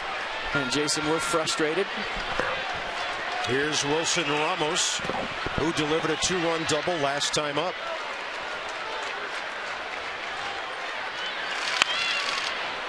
Another ball in on his hands. Wheeler pounding guys inside right now here in the fifth inning while in trouble. Well, you have to do that with Wilson because he's so good with runners in scoring position because he stays inside the ball. He lets the ball travel and get deep. He uses the whole field. So In these situations, pitchers want you to hit the ball to a corner. They're trying to get a ground ball to third, and they're trying to get you to roll over on something. So I wouldn't be surprised if Wheeler stays in this whole sequence. Base hit down the left field line. Ramos has a four RBI day. The Nats on top five to one. Tried to get inside on him again, and Wilson Ramos today has tripled his season RBI total. You know he can't ever leave now. Seriously. Well, I mean, I'm not going anywhere. Good. This is this is too fun. We're loving it, and you're worth some runs, so that's even better. I mean, talk about how he stays inside this. If you come around it, you pull a foul. Yeah, yeah. I, you know, I don't know if he's sitting in there or not. Can't read his mind, but when you see a guy living in there and he threw four or five pitches in a row in there and they just sat on it. That's a great piece of hitting. I mean, he saw what Wheeler did to Jayson Werth, and you see the kids with the Buffalo sign. Now the dudes everywhere. Vamos, Ramos. but yeah, as an on-deck hitter, you see what they're doing to the guy in front of you, and if they're pounding him in, well, maybe your game plan changes accordingly. Still only one out in the inning. Ian Desmond one for two with a home run. I always thought it was dangerous in RBI situations to look in. But I was never an RBI guy like you were. No, you no, are. it, it can be. But again, you're, you're on deck, you're watching. You know, Willie's on deck. He saw what he did to Jayson uh, and, and had some success there. So he's probably going back in. Desmond takes the 0-2 breaker in the dirt. And Let me tell you, that's not an easy pitch to hit. That, that's 94 miles an hour and, and boring in. I've faced this guy enough. He's got some action on that ball. It can be tough. It seems like the game has slowed down for Ian the last week or so. His feet are slower at the plate. Even kind of has a swagger back at He shortstop. Yep, yep, you can see it. He's letting it eat across the infield, letting the throw go. Saw it a little bit in Arizona, especially offensively. He's, he's starting to feel really good. And a 1-2 and a big cut. He wants that one back. And now he got a fight, got his pitch, fouled it off. And usually, as a major league hitter, you'll get one pitch per at bat that you should do something with. That might have been a little high, but definitely something he could drive. A little bit, a little, little bit up. That's one that out of the hand looks great. And, and you start your swing and it just keeps rising. Jeurys Familia for the Mets. Middle of the ball game, the Nats by four. Still only one out. And a 1-2 to Desmond with a target away. Broken bat up the middle. Mets try to turn two. Tejada and Murphy able to do the 6-4-3. But Wilson Ramos has driven in four today. As we move to the sixth, Zimmermann pitching well, and the Buffalo working with him in more ways than one.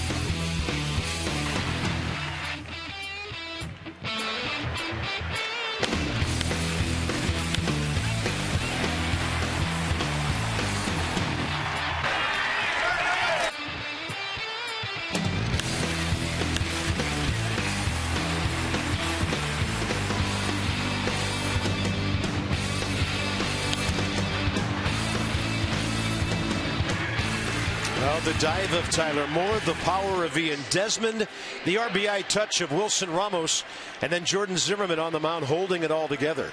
Thursday, June 5th, Nats Phillies, 4 o'clock. After the game, the Nats Live free postgame concert series kicks off with the Plain White T's presented by Travel Channel. Two time Grammy Award winners, Platinum Hits, Hey There Delilah, and Rhythm of Love. It's free with your June 5th Nationals game ticket. 202-675 Nats or visit nationals.com slash Nats Live. What was that second song again? The Rhythm of Love. hey, how your how your buddy's Third Day doing? Good. Been in touch with them lately? They, oh, were on yeah. the, they were on the field here last year, did a wonderful concert. Yeah, I've talked to Mac once in a while. Unfortunately, they can't come back. There's uh, there's something going on with the, the they're playing close to here and, and couldn't have two shows in the same city. So got it. Well, we don't have enough innings left in this game to ask Adam about all of his musician friends. Oh, the guy knows everybody. That's David Wright. He's had an interesting series.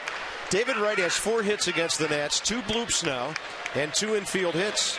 So the good ones get them no matter how they need to to keep things afloat. And David Wright's two for two with a walk today. So the Mets box score back in the second inning, RBI by Juan Centeno, the catcher. Nats tried to get him with two outs and a runner at third. He made him pay, but that's their only RBI today. But David Wright's on for the third time, and here comes Curtis Granderson. A lot of talks about all the shifts in baseball now and how it's harder to get hits for guys when they have the shift. You're a guy that's basically had it every time you've come up since mm-hmm. I've seen you. Your thoughts on when you step to the plate and you see everybody on the right side? You know, I think a lot of time what, make, what makes the shift effective is just the what it does mentally to a hitter. I think if you're a hitter that goes in there and worries about where guys are playing, then the shift can be effective. Um, and not just by putting you know putting the ball in the play to the right side, but just mentally maybe trying to go that way, maybe trying to force it that way instead of just you know letting it go. Um, and, and, early on, I tried to do that. I'd see a big hole over there, and, and you know end up it'd be worse. I'd end up hitting a, you know a ten hopper to the first baseman. So if you can kind of get that out of your mind, yeah, you're going to get some hits taken away. But again, there's a big hole over there, and you know I don't I, I, don't like I don't like when teams do it with guys in scoring position. I feel like it's too easy to bleed a ball that way. 0-2 Zimmermann to Granderson. So your thought process is now you're used to it. It doesn't affect you where maybe early on it did. It doesn't, and, and I say that, and a lot of times it depends on the pitcher. If I know it's a guy that's that's maybe sinking the ball a lot or, or going to stay away the whole time, yeah, maybe I lean out a little more and try to shoot something that way. And, and again, it depends on the score. Uh, if we've got guys on base, who's pitching, there's a lot of factors there. But I've never been a huge fan of it, and, and not just as a hitter, but you know, on the defensive side. Um, you know, I, I, don't like the full-blown shift. I know we do it occasionally, uh, and, and, it can pay off, but I don't know. I'd be curious to see numbers over time on that, uh, on how much it works and, and doesn't. Adam LaRoche with us here, top of the sixth inning. David Wright aboard, leading off, and Granderson takes another one that misses just inside. Two balls, two strikes. Last pitch. A changeup right there at 87, and just missed. On the Nissan pitch track. Curtis Granderson, tough guy to double up, hasn't hit into one this year, at least on the ground. And a 2 2. Wow. Outside corner not available either. Well, I talked about this earlier, Adam, and maybe you can add on to it. A rookie umpire, John Byrne, is his first game back there. And not talking about him specifically because you're a player, but I've found it with younger umpires, they have trouble ringing up guys on called third strikes. No, I'm, I'm glad you mentioned that because one thing I've, I've come to the conclusion over the years is that it must be a lot harder back there than we think it is. You know, when you're watching a game or, or even in and at bat or watching from first base and you see some calls that you feel like should go the other way, it just must be really, really hard to be consistent back there and and, and call it the way we feel like it should be called. So well, this is his first time calling balls and strikes at the big league level. Doing a good job. Debuted at second base Friday night. Now the plot thickens here in the sixth inning with Lucas Duda coming in. Hit a ball right off the top of the scoreboard back in the second. Grounded out in the third. And Zimmermann misses away. And you can't win on a close pitch. Somebody, somebody from either side is going to yell at you. So, not not real easy on those guys guys keep going. You're you're going to get some calls. I mean, you're, you're earning it right now. When you come back, umpires are listening, so keep pumping them up. all the board line. uh, maybe, maybe it takes your, your daily outside strike that's four inches off the plate away. Uh, I'm, I talk about I'm glad you noticed that. It must be with my stance or my stride or something because you just get used to it. Denard Span able to put that one away. A big out here in the sixth inning. Juan Lagares coming up.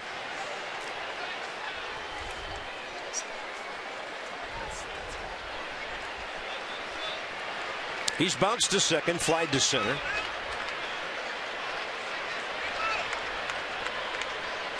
Desmond Frandsen looking at each other for a moment. Frandsen's going to jockey with the runner a bit to keep him close at second. And a first pitch breaking ball in there from Jordan Zimmermann. Well, David Wright's a guy that'll steal a base if you fall asleep. And I think right now with a four-run deficit, Kevin Frandsen keeping him close, but he doesn't have to keep him that close. You don't want to let him walk into third base. Just let him know you're there. And that's what he's doing. Let's go inside the numbers with Jeep. Juan Lagares against the Nats. 12 hits, five of them for extra bases.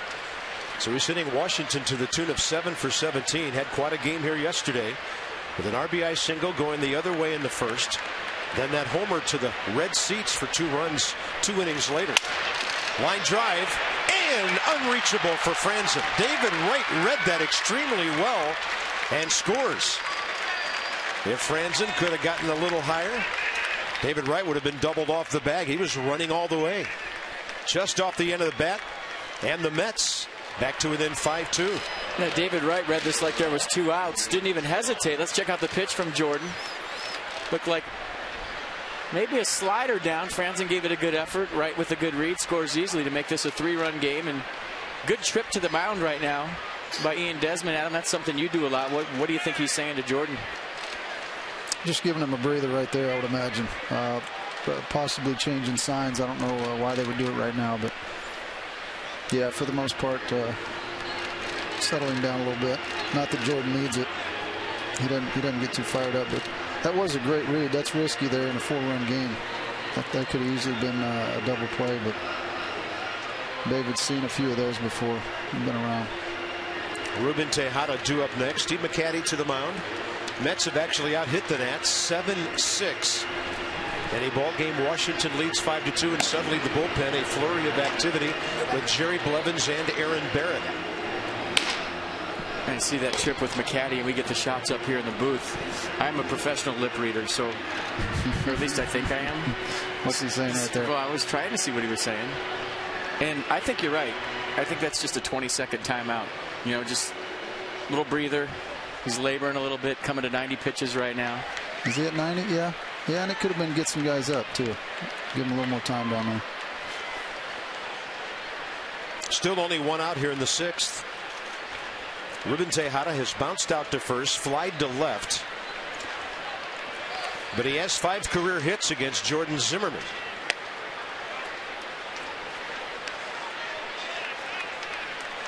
Tough to get a high call strike right now.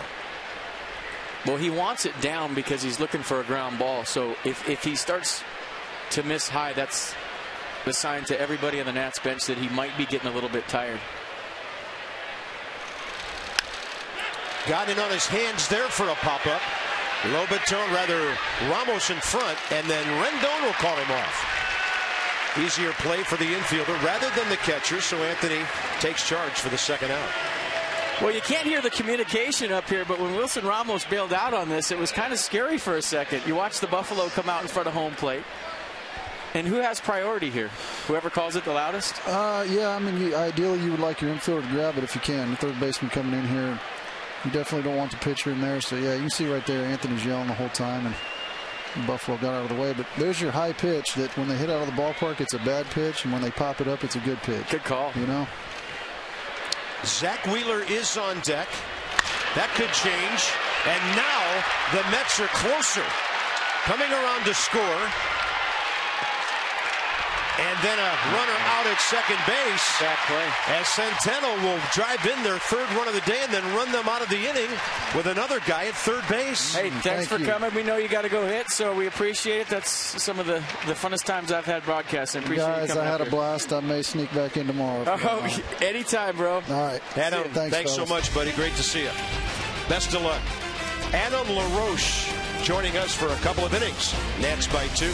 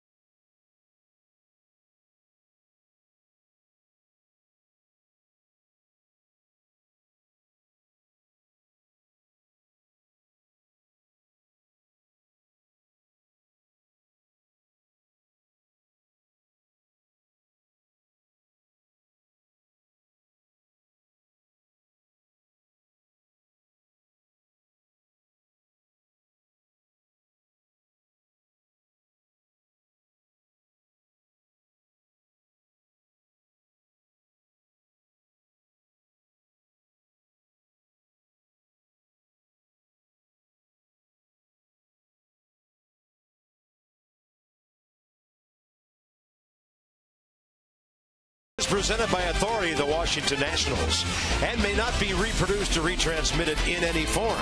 And the accounts and descriptions of this game may not be disseminated without the express written consent of the Washington Nationals. Well, let's check out that play to end the sixth inning. It looked like the Mets are mounting a big, mounting a big time comeback. And Centeno with the base hit up the middle. Nice job. Two out Knox scores a run. And right here, trying to get into scoring position, a big time mistakes. Jordan Zimmermann on the ropes. And the young player makes a base running mistake to bail out Jordan Zimmermann. And watch the tag by Ian Desmond. Facial. Insult to injury. Bottom of the sixth inning, Tyler Moore. And out there at deep short, up the middle is Ruben Tejada. Nats box score. A run in the second on the Desmond Homer. Ramos drives in two in the third with a double out to left center. Then he drives in two more in the fifth with a base hit down the left field line while being jammed. The Nats might need more. Franz and McLouth the next two, so that play went 8 5 6. Then you could make an argument that the Mets have run themselves out of a chance to either be even or have a lead in this game. Also earlier, that 3-6-5 double play when they got Murphy rounding third base in the first. Frandsen asked for timeout, didn't get it, stood straight up, and then took one right down the middle. And he's frustrated that he was not granted timeout. Zack Wheeler has been quick pitching guys here and there today, not consistently, but he's been doing it. So the pitch before Kevin Frandsen asking for timeout. Watch, looks up and he's already in his delivery. He's not ready. I don't know that he asked that emphatically, but he was quick pitch.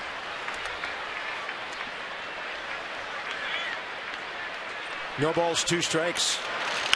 And a breaking ball, chop foul. Wheeler due to bat first in the seventh. Probably it for him. In fact, he's probably only in the game because of that base running play.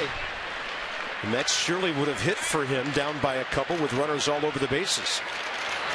Frandsen will reach out and uh, foul it over to David Wright. Two outs.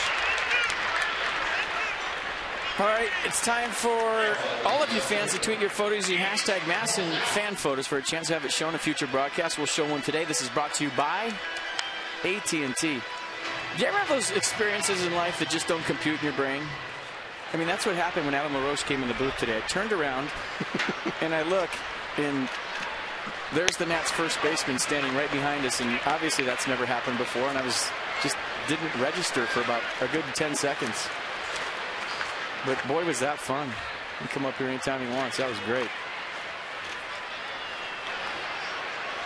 I think that's the first visit we've had in the booth by a disabled player in four years.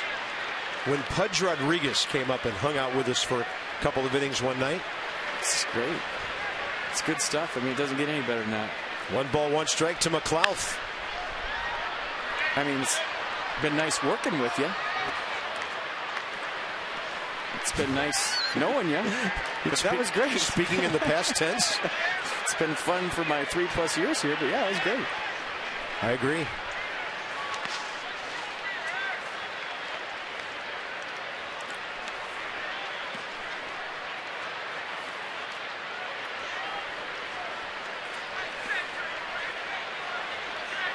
I think it gave Nats fans a good insight to how intelligent Adam LaRoche is. What a heady baseball player he is. Yeah, if you're not around him, you don't know a whole lot about him. He's a little mysterious from the outside. Great guy as we've gotten to know him, and what a visit today. So we're going to the seventh. This game's got a long way to go.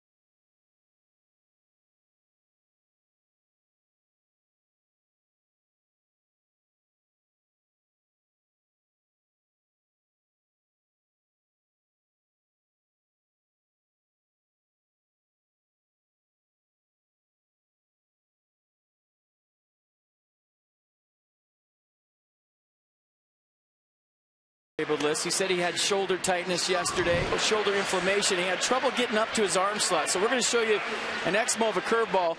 Check out the torque that that puts on Gio Gonzalez's arm. That's not where he's hurt, but when you talk about pitchers and the stress it's put on their arms, you kind of see with the Exmo a little bit better of how that I mean, it's kind of gross, right? I mean, that's the torque that's put on an arm in the middle of the motion. And the curveball from Gio yesterday really wasn't finished. The fastball I didn't think either. And we speculated that he wasn't right. And it turns out today that he wasn't. So a guy that took the mound for 161 straight starts goes on the DL. And Dan Kolko, you got a little more on Gio. Yeah, guys, they sent Gio for an MRI today, an MRI arthrogram, actually, which is where they inject a dye into his shoulder, and that'll allow the doctors to kind of get a better idea of what's really going on. They're calling it shoulder inflammation for now, and they'll wait for the MRI results and then kind of have a better picture of exactly what's going on. Uh, the, Gio would have been out for probably two starts, two turns because of that dye that they injected in there. So they decided to just put him on the DL before knowing exactly what's going on. And the options to replace him are, you know, a couple. They could go with Blake Treinen, who pitched two days ago down at AAA Syracuse. He could go Thursday in Pittsburgh and slide into Gio's spot. So we'll kind of have to check in maybe later today or tomorrow to find out the full results of that MRI on Gio's shoulder. All right, thank you, Dan Kolko. Chris Young will hit for Zack Wheeler as the Mets come up in the top of the seventh.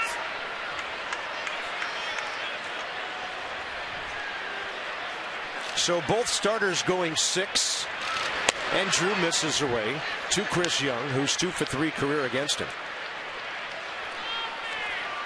Storen had a scoreless seventh here on Friday night Gave up a double to Eric Campbell as a pinch hitter, but got the other three guys to keep the Mets off the board. He got Recker, Tejada, and Eric Young, who in this situation is on deck.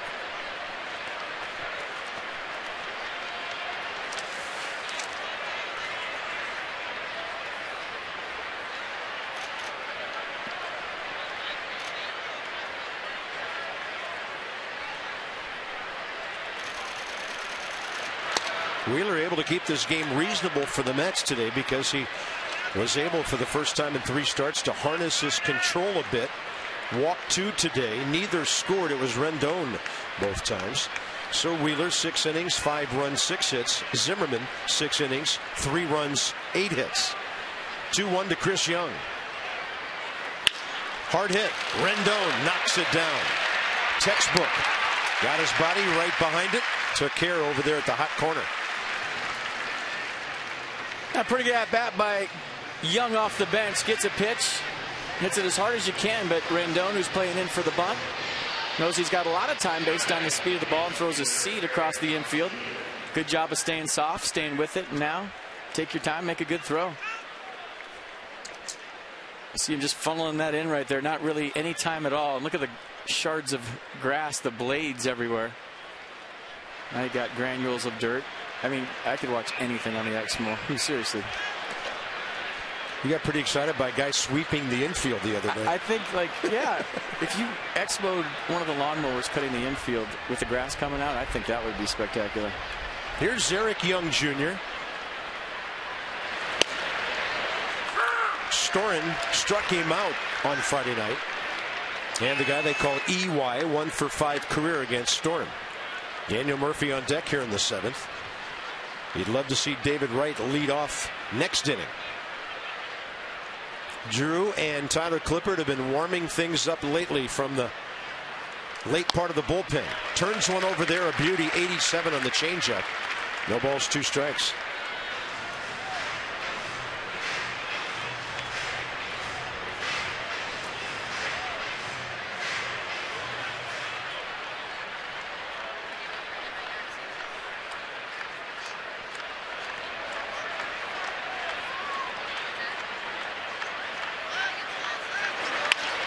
Breaking ball in on his hands.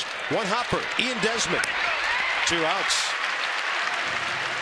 So early today before the game, all the Nats out working on their defense. Guys taking ground balls, but there was also guys taking fly balls in the outfield. Tony Tarasco hitting them off the fungo and name that Nat. I think he's somebody we talked to Adam LaRoche about. And we watched him do this for about 20 minutes, and he looked good.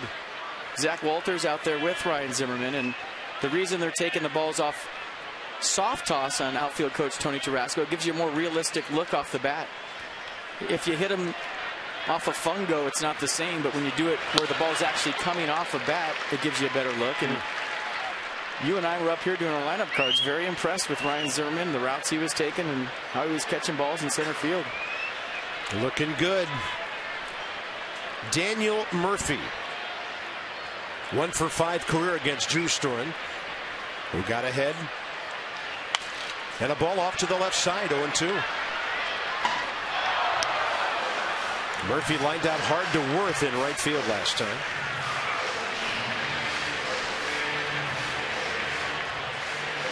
In St. Louis, by the way, Justin Upton just homered. But St. Louis had scored three to take the lead, so it's Cardinals three, Braves two, fifth inning there.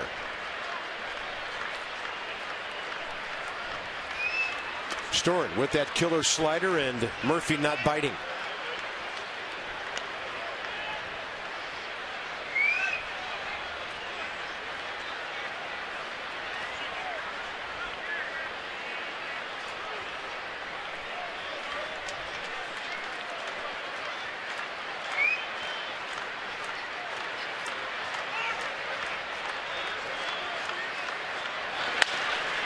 Right side. Frandsen will cover it.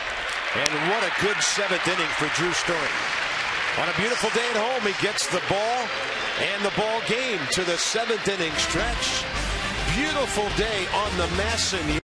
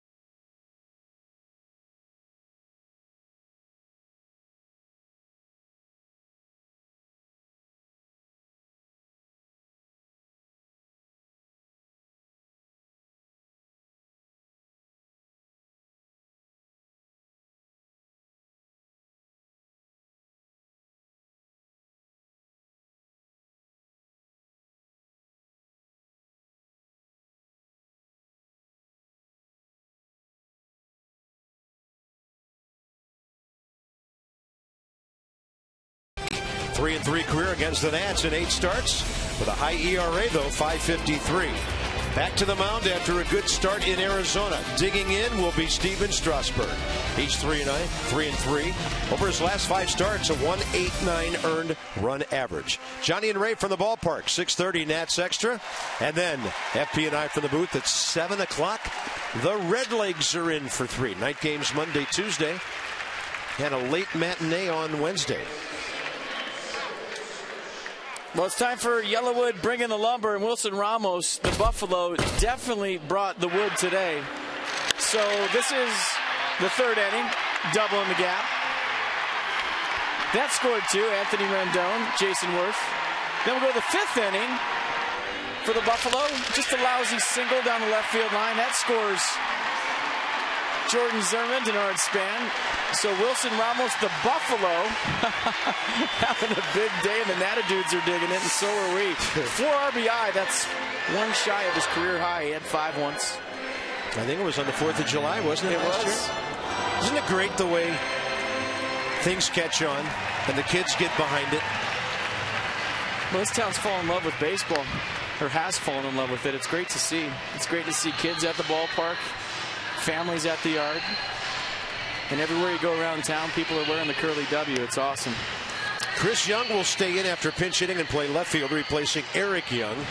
So the Mets pitcher, Jeurys Familia, will be batting in the number one spot.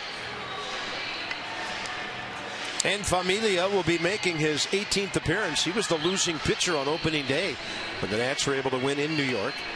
19 innings, 15 strikeouts, but 10 walks. I mean, he's a guy with electric stuff. You just got to get him in the strike zone. Well, social media weekend's almost over, folks. It's this weekend presented by Navy Federal Credit Union. MASN will be rewarding fans with great prizes and exclusive opportunities. Be sure to follow the action on Facebook, Instagram, and Twitter by using hashtag MASNSMW. Social media weekend. Screech is digging it. He's digging it. Got the glove on. I love to see the kids with the picker at the ballpark. That is perfect. Nice mustache, sir. Looks good on you. Jay Urias Familia, 24 years of age, from Santo Domingo of the Dominican Republic, and hitting for Drew Storen, who just had a really nice inning. One, two, three in the seventh. Will be Zach Walters. Yeah, Familia's fastball is averaging 96, so Walter's going to get a piece of cheese right here. The slider's 85, and the changeup is 90.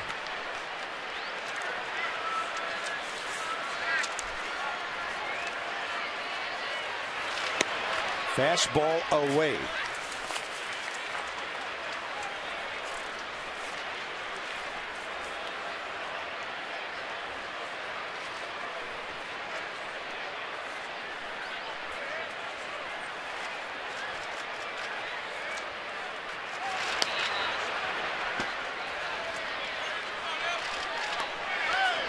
P-Nats are back, folks, at Woodbridge May 20th with a midweek series against the Lynchburg Hillcats. And those guys are so tough. There are plenty of promotions at the Fits, including two for Tuesday, Belly Buster Night, and Thursday, Cheers. Come down see the future Nats. Call the number on your screen or go to the website for details. Zach Walters in this series 0 for 1. Lined out to the base of the center field wall here last night. And he takes a hack off to the left side. One ball, two strikes here, bottom of the seventh. Nats are trying to make it five and one against the Mets this year. And grab some home field momentum with Cincinnati coming in. And then next week we'll be in Pittsburgh for three starting on Thursday.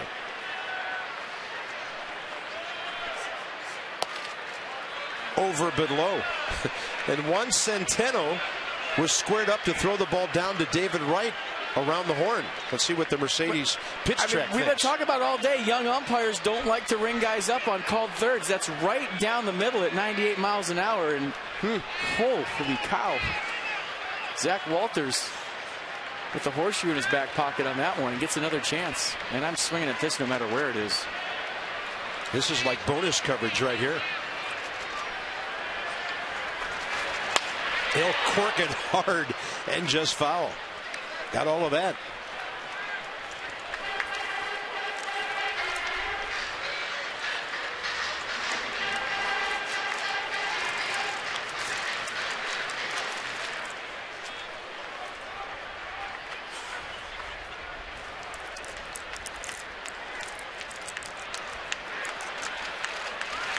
In a 2-2, bounced right side. Murphy, the ball backed him up a little bit, had a lot of spin on it. Walters hustling all the way, one out. I'd be the opposite if I was a rookie ump. I'd be Enrico Palazzo back there just moonwalking on people with two strikes. Of course you would. Ringing everybody up. And if they said anything, I'd say swing the bats.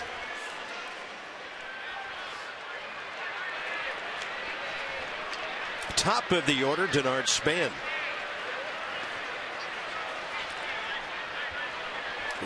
Double last time after the Jordan Zimmermann base hit. And right now, that two run rally in the fifth, the difference in the game. With Wilson Ramos driving both of them in.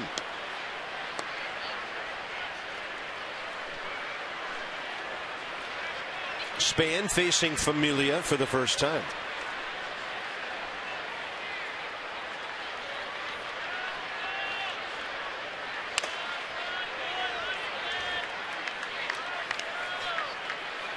Well, score four. Turn on the fog machine and the laser lights. The Nats are 18 and 1. I didn't know that Kevin Frandsen had turned the clubhouse into a disco after every win. Well, I did. I just didn't know if it was for public knowledge, but Adam LaRoche let us all know that. you know, there's certain things that stay in the clubhouse, and I didn't know if that was one that didn't, but LaRoche. Adam telling us that there's a huge laser fogger.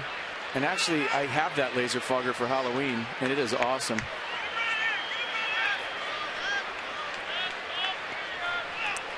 Well, each guy brings something a little bit different to a ball club.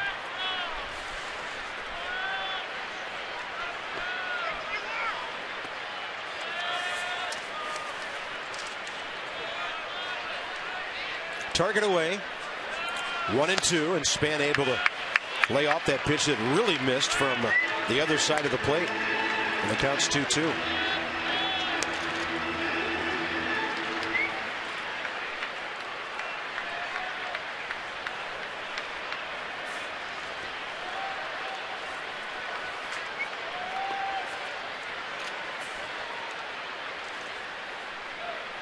Nationals and Mets will easily draw over 100,000 this weekend. We'll give you the total for today when we find out. It'll be pretty good. And that's up and away, three and two.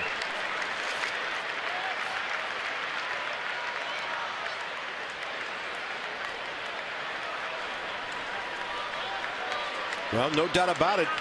Five runs on the board today because Span and Rendon have been on base a combined four times. When they both get a hit, the Nats are hard to beat.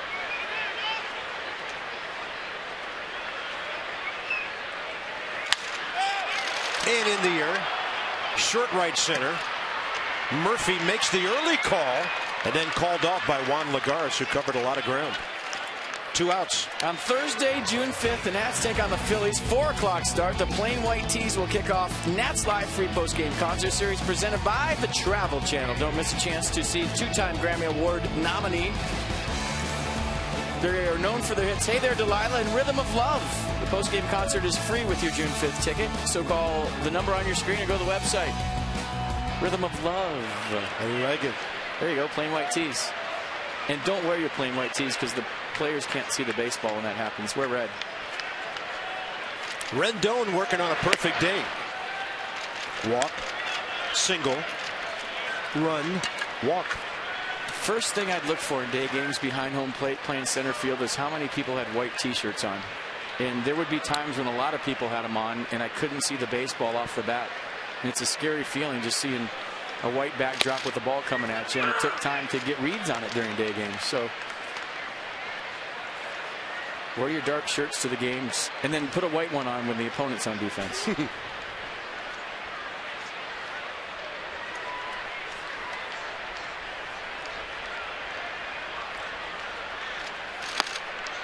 Good take by Rendon. Two balls, one strike. That's why when the teams in the playoffs give their fans the white towels to wave around, mm. I always cringe when I see that because you're actually doing a disservice to your ball club. They can't see the ball off the bat. 2-1. Rendon a little bit late. That's why the Nats were smart in 2012 with the red towels. I don't know if you've ever been down in the stands for one of those scenarios, but for seven innings or eight innings, the lint is flying all over the ballpark. it's a little bit different.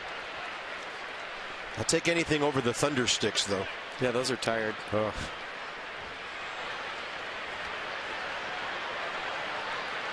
Two two to Rendon.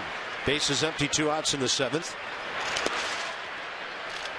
And he may be about to get on base for the fourth time today.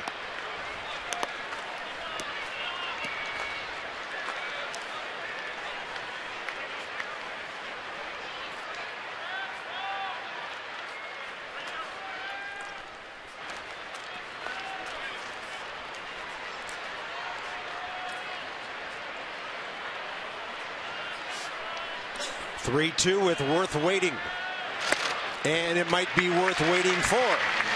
Anthony Rendon seeing the ball well today. He's on base for the fourth time.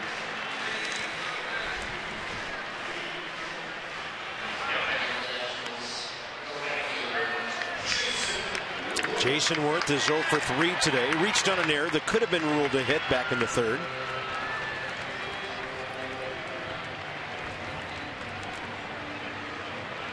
Might not be a bad time for Anthony Rendon to giddy up here with two outs, even though Jayson Werth is hitting. You're up by two runs. See if Familia is quick to the plate or not.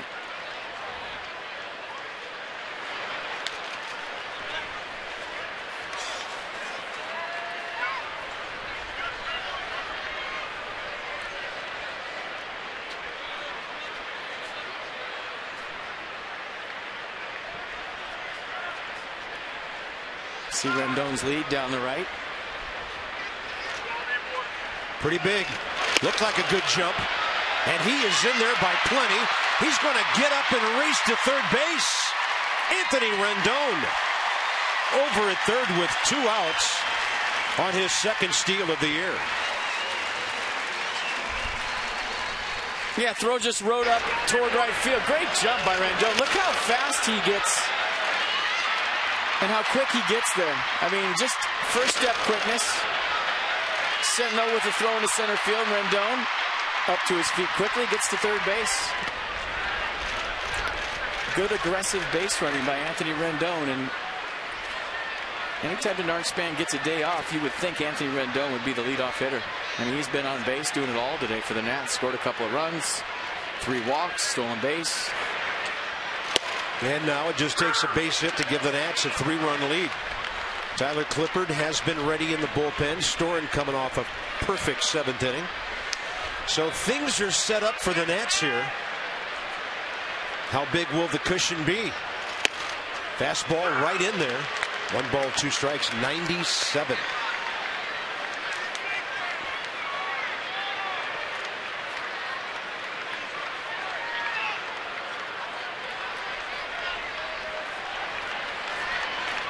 They went it inside. It missed on the other side. Ball two.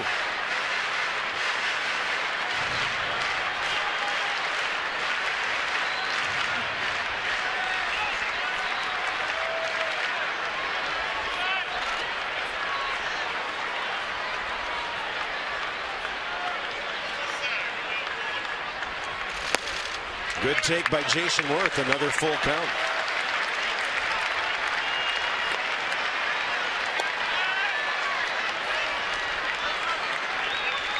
Buffalo lurking.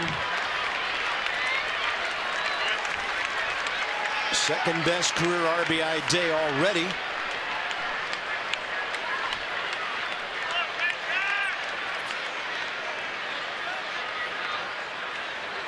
And Werth takes a slider out to short. Handled by Ruben Tejada. And the Nats are gone in the seventh. They've stranded four base runners today.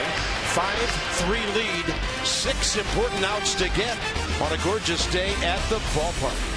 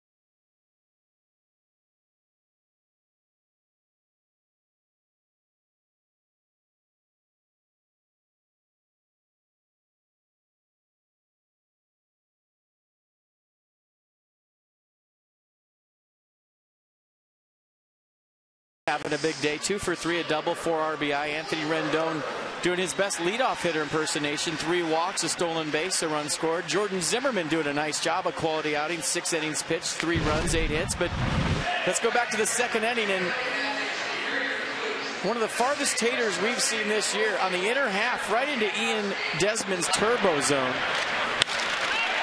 And it was loud and it was high and it was far. Over the bullpen. Great catch by the fan in the light blue shirt. Jose Lobaton taking the lid off. And Ian Desmond absolutely locked in, starting to put this ball club on his back. Remember, our Washington, D.C. Lexus dealers are donating $250 to the Children's National Medical Center for every home run a Nats player hits this season. So Ian Desmond, 250 bucks. It's for a wonderful cause, Lexus the pursuit of perfection, and Tyler Clippard on for the Nats. 22nd time. 196 ERA. 185 opponent's batting average. 26 strikeouts in 18 innings. First up, David Wright. 6 for 19 career against Clippard. He struck out David Wright with a runner aboard in the eighth inning Friday.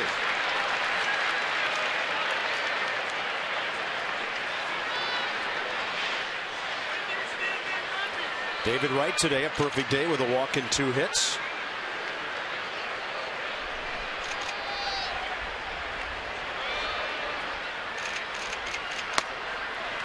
Clippard drops it to the outside edge.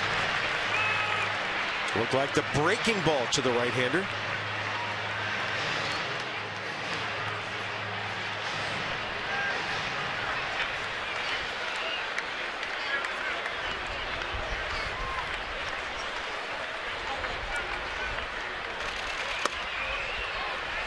That's a changeup that got away from him way upstairs.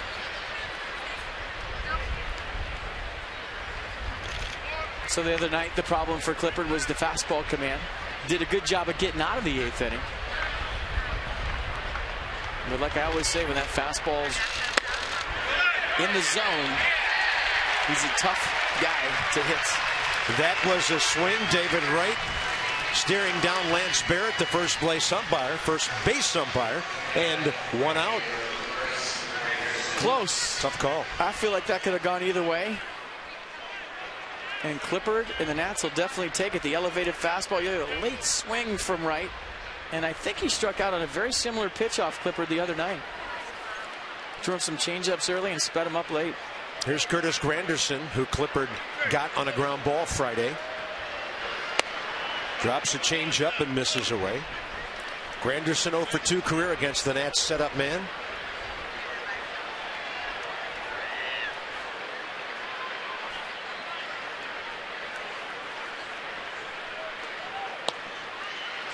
On the edge.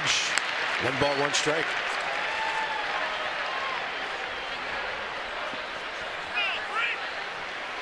Five three Washington. Even though the Mets have eight hits. The Nats have six. Wilson Ramos, the big difference in this game with the bat. There's that 92 riding high. One ball, two strikes.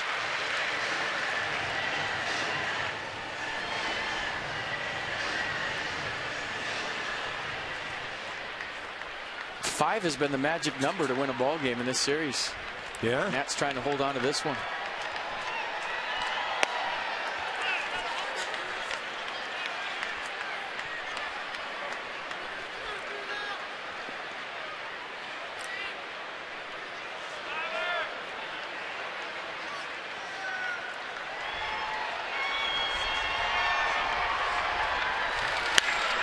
2 2 in on his hands.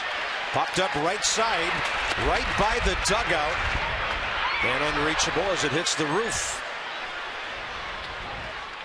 Here's your AT&T fan photo we promised you earlier in the game. And that is Jacob and Patrick Miller. And that is the real names, folks. I did not make those up today. They're from Fairfax. They are our graphics producer's kids, Adam Miller, with, I think that's Teddy. you think? Great pick, guys. Way to go. Dudes on display. I love it. Nice. Yeah, they sent him in like everybody else and got picked at random. Yeah. Nice going. Three balls and two strikes now with Lucas Duda on deck.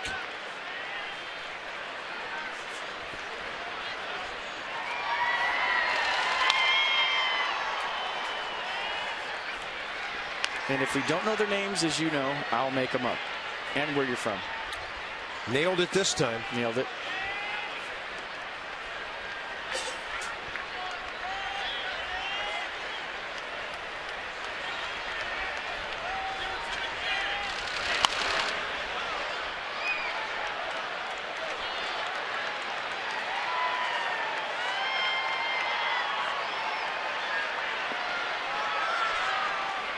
Three-two changeup, three-two heater. I'm going three-two heater right here.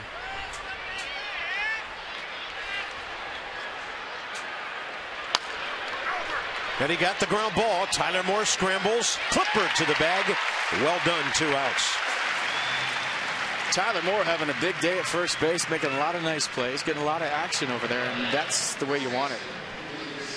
Well, it's really our first extended look. I mean, last year's or two years ago as a rookie, almost all of his action in left field. Last year, split time infield, outfield. Good job getting over there. Big hop, underhand feed, give him a little lead, find the base. Perfect. Spring training. Here's Lucas Duda, who Clippard got on a fly ball to center Friday night. Left-handed batter, 0 for 9 career against him, and the fastball misses away.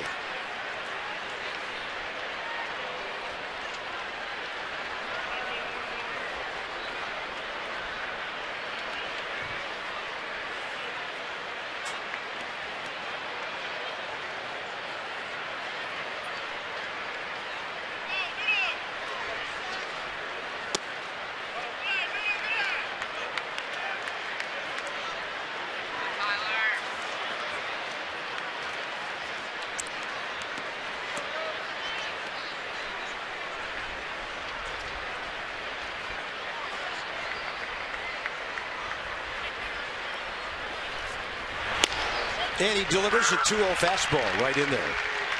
So we said the other day, in case you missed it, Tyler Moore in 118 plate appearances as a first baseman. That's 39 games. Is hitting 346, 37 for 107 with six home runs. Comfortable over there.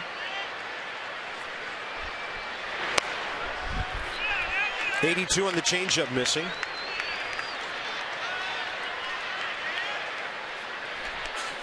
Now the Braves have battled back and tied St. Louis. They're 4-4, sixth inning. Nats a half game behind Atlanta. And a 3-1. Threw him a change up to get a foul tip. Well, that's a dead fish right there. 3-1 change up. Good arm speed and had some pretty good late fade too. Duda convinced he was getting a heater. That would have been two.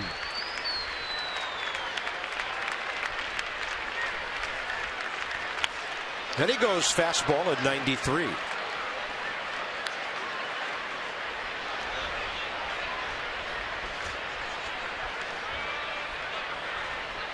I think he goes 3-2 change up here. But as a hitter with a 93 mile an hour fastball, you have to respect it.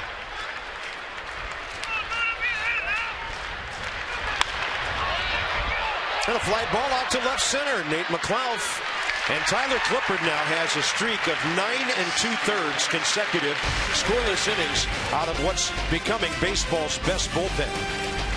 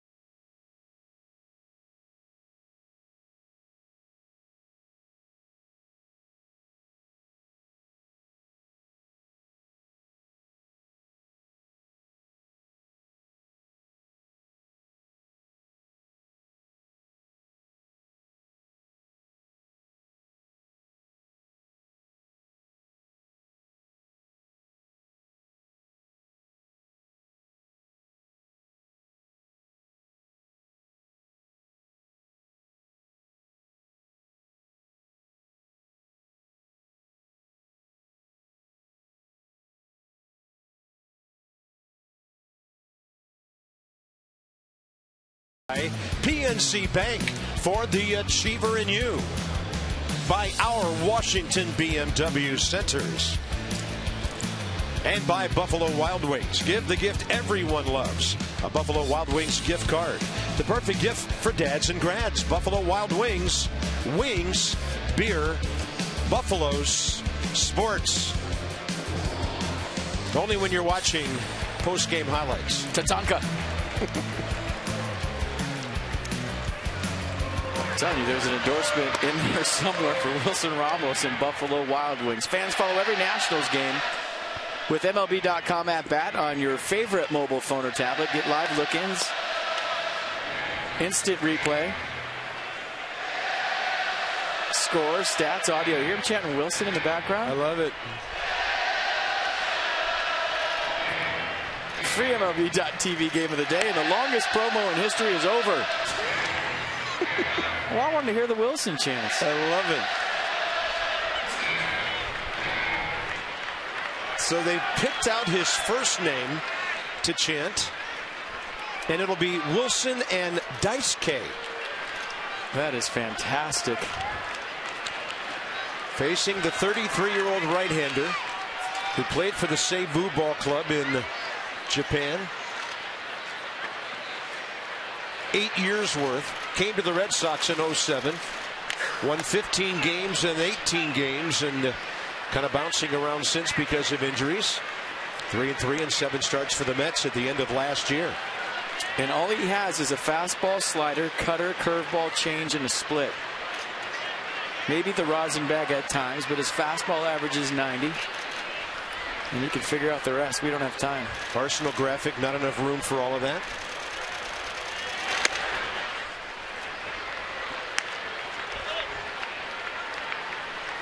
Ramos today, two for three, two run double, two run single.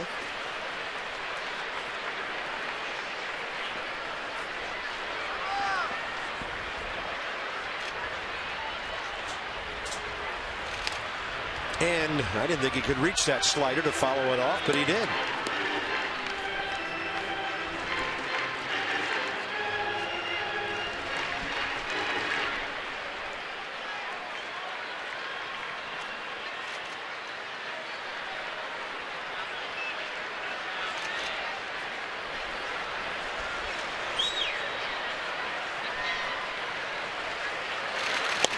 One-two. Matsuzaka tried to get him on the front door. Pretty good take, 2-2. Little pause in the delivery. Little pause in the delivery.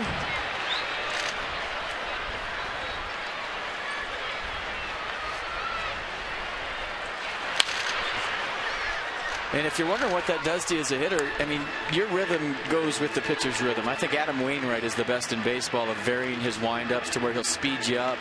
He'll go hands over the head one time. He changes his delivery to disrupt the hitter's timing. And oftentimes pitchers will have the same delivery and the pitch itself disrupts the timing. But many times, or sometimes I should say, you'll have guys like this that try to disrupt your timing by their delivery. It's when do I go back as a hitter? Do I start on the, the third pump, the fourth pump? Like, what is he going to do up top? And I think he'd be effective if he just went up there for a half a second and delivered on a big pitch. Might get a pitch by somebody. Full count now as Ramos leads off the eighth. Good at bat. He's on for the third time.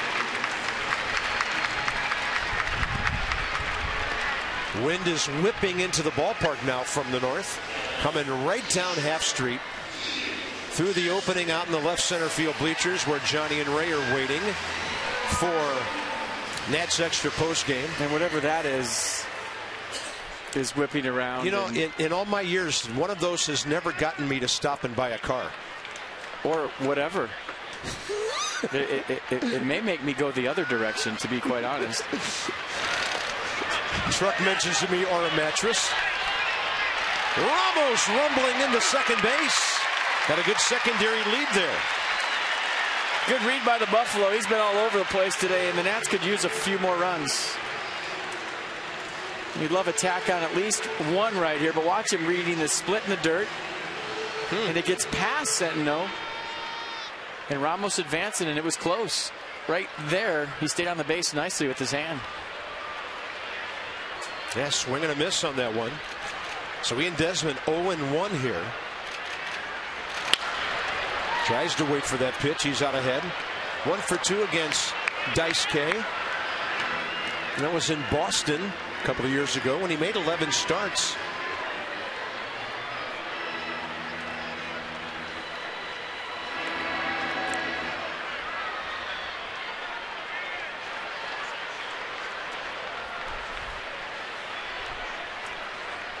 No balls, two strikes to Desmond. One for three today with his seventh home run of the year.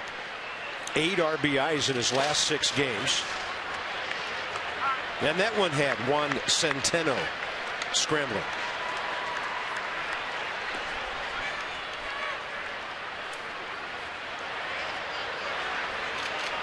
So 12 against the Braves, but 15 now against the Mets. Including a two-run shot yesterday. Had one in New York earlier. Then a one-two pitch. Ian fouls it out of play. Got a pitch right there in two-strike fight mode.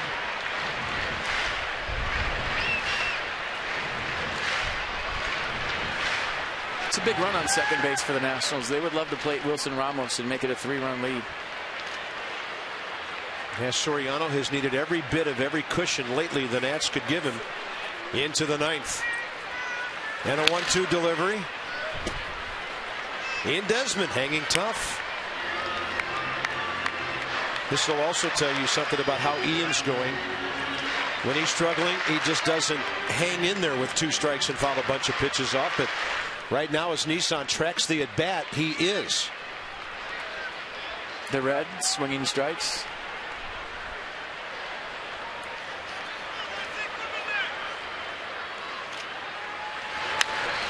On that. Wow. wow. Getting some big hacks.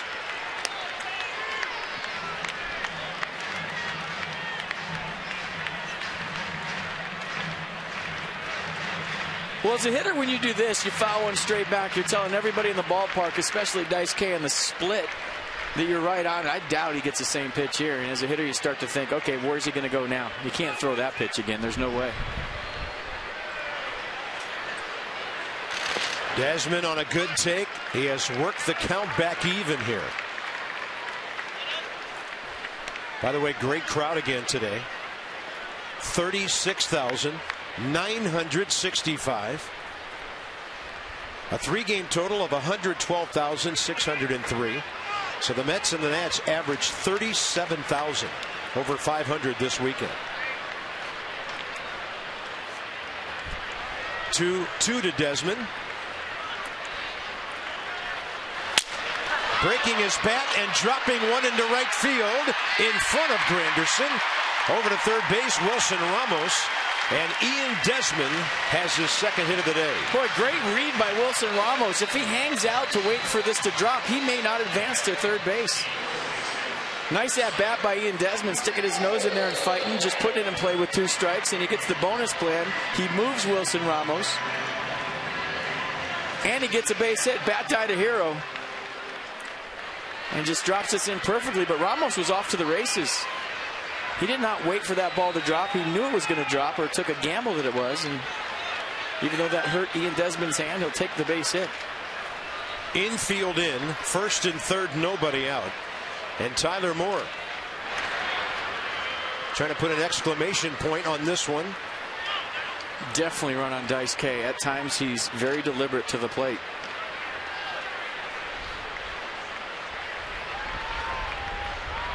And with that whole third to first move thing outlawed, you can get a better jump at first, obviously.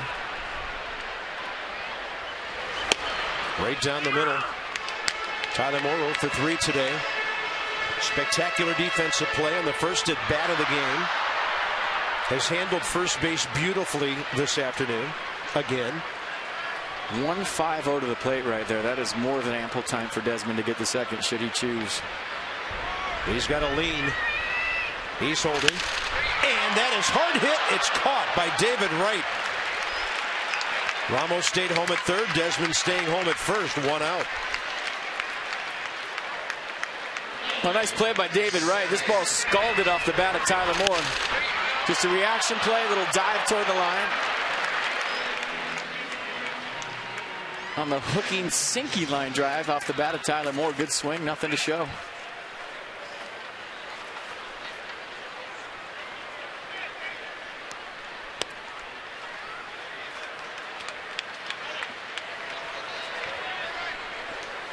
Kevin Frandsen 0 for 3 today.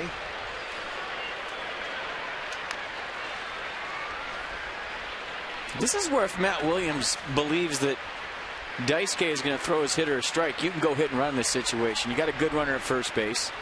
A pitcher is deliberate to the plate, and a guy that can handle the bat. It all adds up if you want to do it.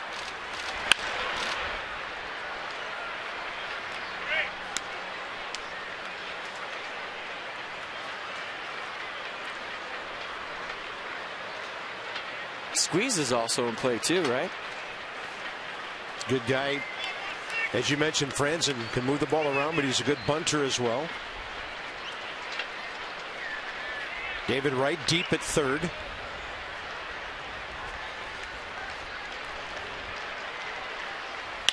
Frandsen will pull it to the shortstop.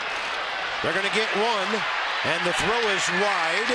Ramos scores, and the Nats have a 3-1 lead as Frandsen gets his sixth RBI. Good slide by Ian Desmond. He's digging it. But a good late clean slide by the Nationals shortstop to run a little traffic so Daniel Murphy couldn't turn this double play to end the inning and it leads to a run for the Nats. Nice play by Tejada from his heels, from his backside I should say, but look at Desmond. And Daniel Murphy wanted nothing to do with Ian Desmond and turning this double play. Watch him back away. Nothing on the throw, and that allows Kevin Frandsen to beat the relay and Wilson Ramos to score. It's a big run. It is. Nats by three. A few moments ago, Ryan Mattheus joined Soriano in the bullpen. If Washington would score another run, it appears Mattheus would pitch the ninth. But right now, it is a save scenario. One ball, one strike to Nate McLouth, who's 0 for 3. And against Daisuke Matsuzaka career, 2 for 3 with a home run.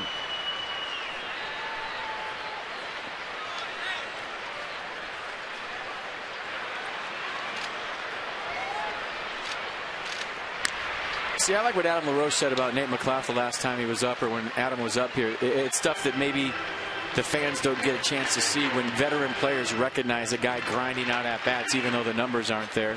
And the fact that he brought that to our attention I thought was great.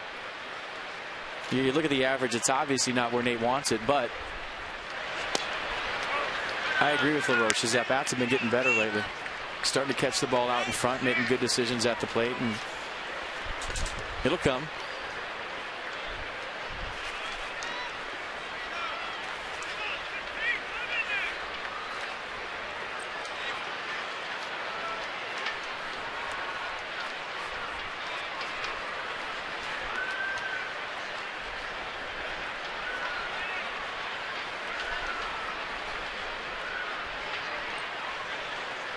2 1 pitch.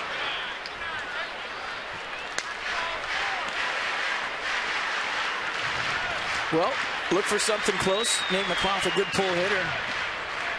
And when you're ahead three and one, you can pick your pitch. Fastball in, turn the fan on, see what happens.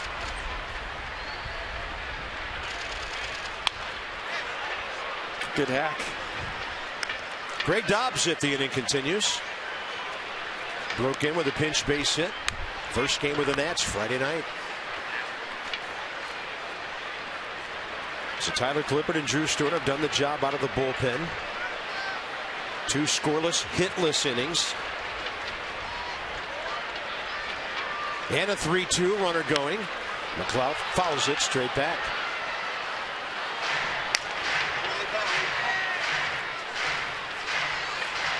Six three Washington looking for the series win. Cincinnati in for three starting tomorrow night. And they are getting hammered in Philadelphia right now, 8 to 2 in the eighth inning. Mike Leake, Stephen Strasburg tomorrow night. 3 2 again. Swing and a miss. We're going to the ninth. The Nats have a three-run cushion as Frandsen comes up with a big RBI in the bottom of the eighth.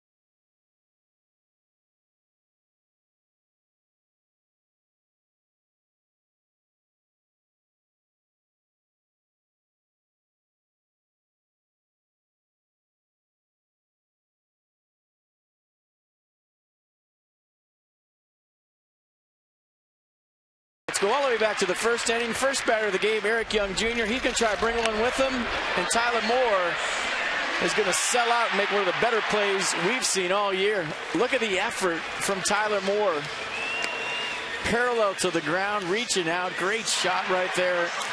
And a great play and a great way to start this ball game up. And a great way to end this game would be a little untucked from Rafael Soriano, who's on for the save. Anxious moments here on Friday night, of course, when he walked two men. Lagares and Eric Young with two outs, and then Daniel Murphy pinned Jayson Werth up against the bullpen wall. Today he'll face Lagares, Tejada, and the catcher Juan Centeno. The Mets do have one left-handed bat on their bench in Bobby Abreu. And he's on deck. He has stepped to the on-deck circle. Lagares walked against Soriano with two outs on Friday night. First pitch well outside. Lagares went for two career against him. Bobby Abreu for Ruben Tejada next.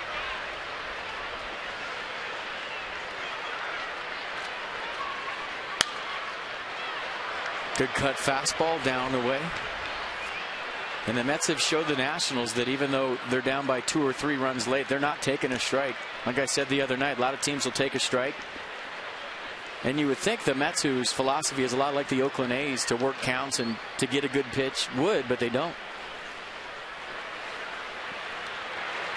And a 1 1. Pretty good slider breaking away at the last second.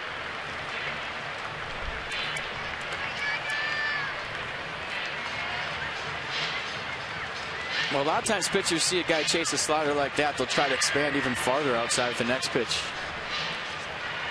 The thought process being, well, if he's going to chase that, maybe he'll chase this.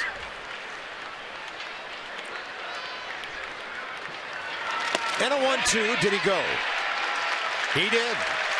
No appeal needed. One out. Nice sequence right there. That's exactly what Soriano did. He got him to chase strike two, then he expands out further with a slider, and Lagares can't hold up. I don't think he, John Byrne even asked for help right there. He saw the swing himself. He called it. A nice pitch right there by Soriano, getting the strikeout to start this ninth up. 38-year-old Bobby Abreu. One for one career with a walk against Soriano. In this series, one for two with a pair of walks. That was on a Friday night start for him. Fastball just missing.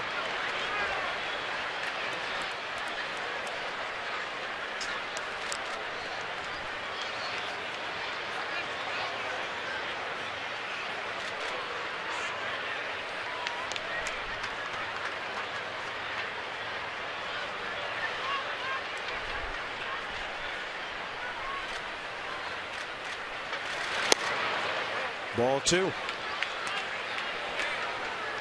Stephen Strasburg, Mike Leake tomorrow. Oh, that's a great matchup. There's some good pitching matchups in that series. We'll see Doug Fister. We'll see Johnny Cueto in that series. Two balls, no strikes. And Soriano throws 90 right in there.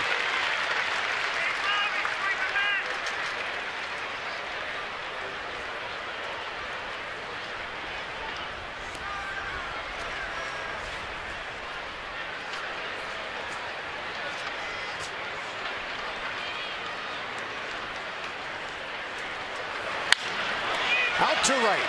Jayson Werth back, then in, and then two outs. The one with the cutter and just got it off the label. Good pitch by Soriano for the second out. The third out's been a mystery sometimes for Rafael, so let's see if he can do a one, two, three save right here. And it's almost like at times he starts to think about it a little bit too much. Getting that third out, but so far so good. Everybody on their feet here in Nats Park. Well, they've seen an entertaining ball game today. Ramos has driven in four of the six. One out away from a series win. This is the catcher, Juan Centeno, who has two RBI singles today.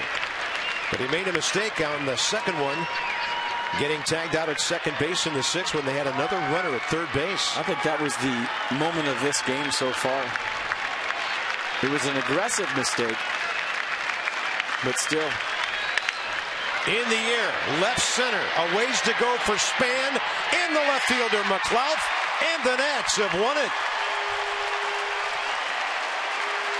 A one-two-three ninth, and Rafael Soriano with his 10th save in 11 outings this year. Well, this is a nice day for the offense all the way around. Anthony Rendon, a big day. Wilson Ramos, a big day. Ian Desmond got this party started with a home run, and the Nats win a series and continue their dominance over the Mets. And now bring on the Reds. They're ready.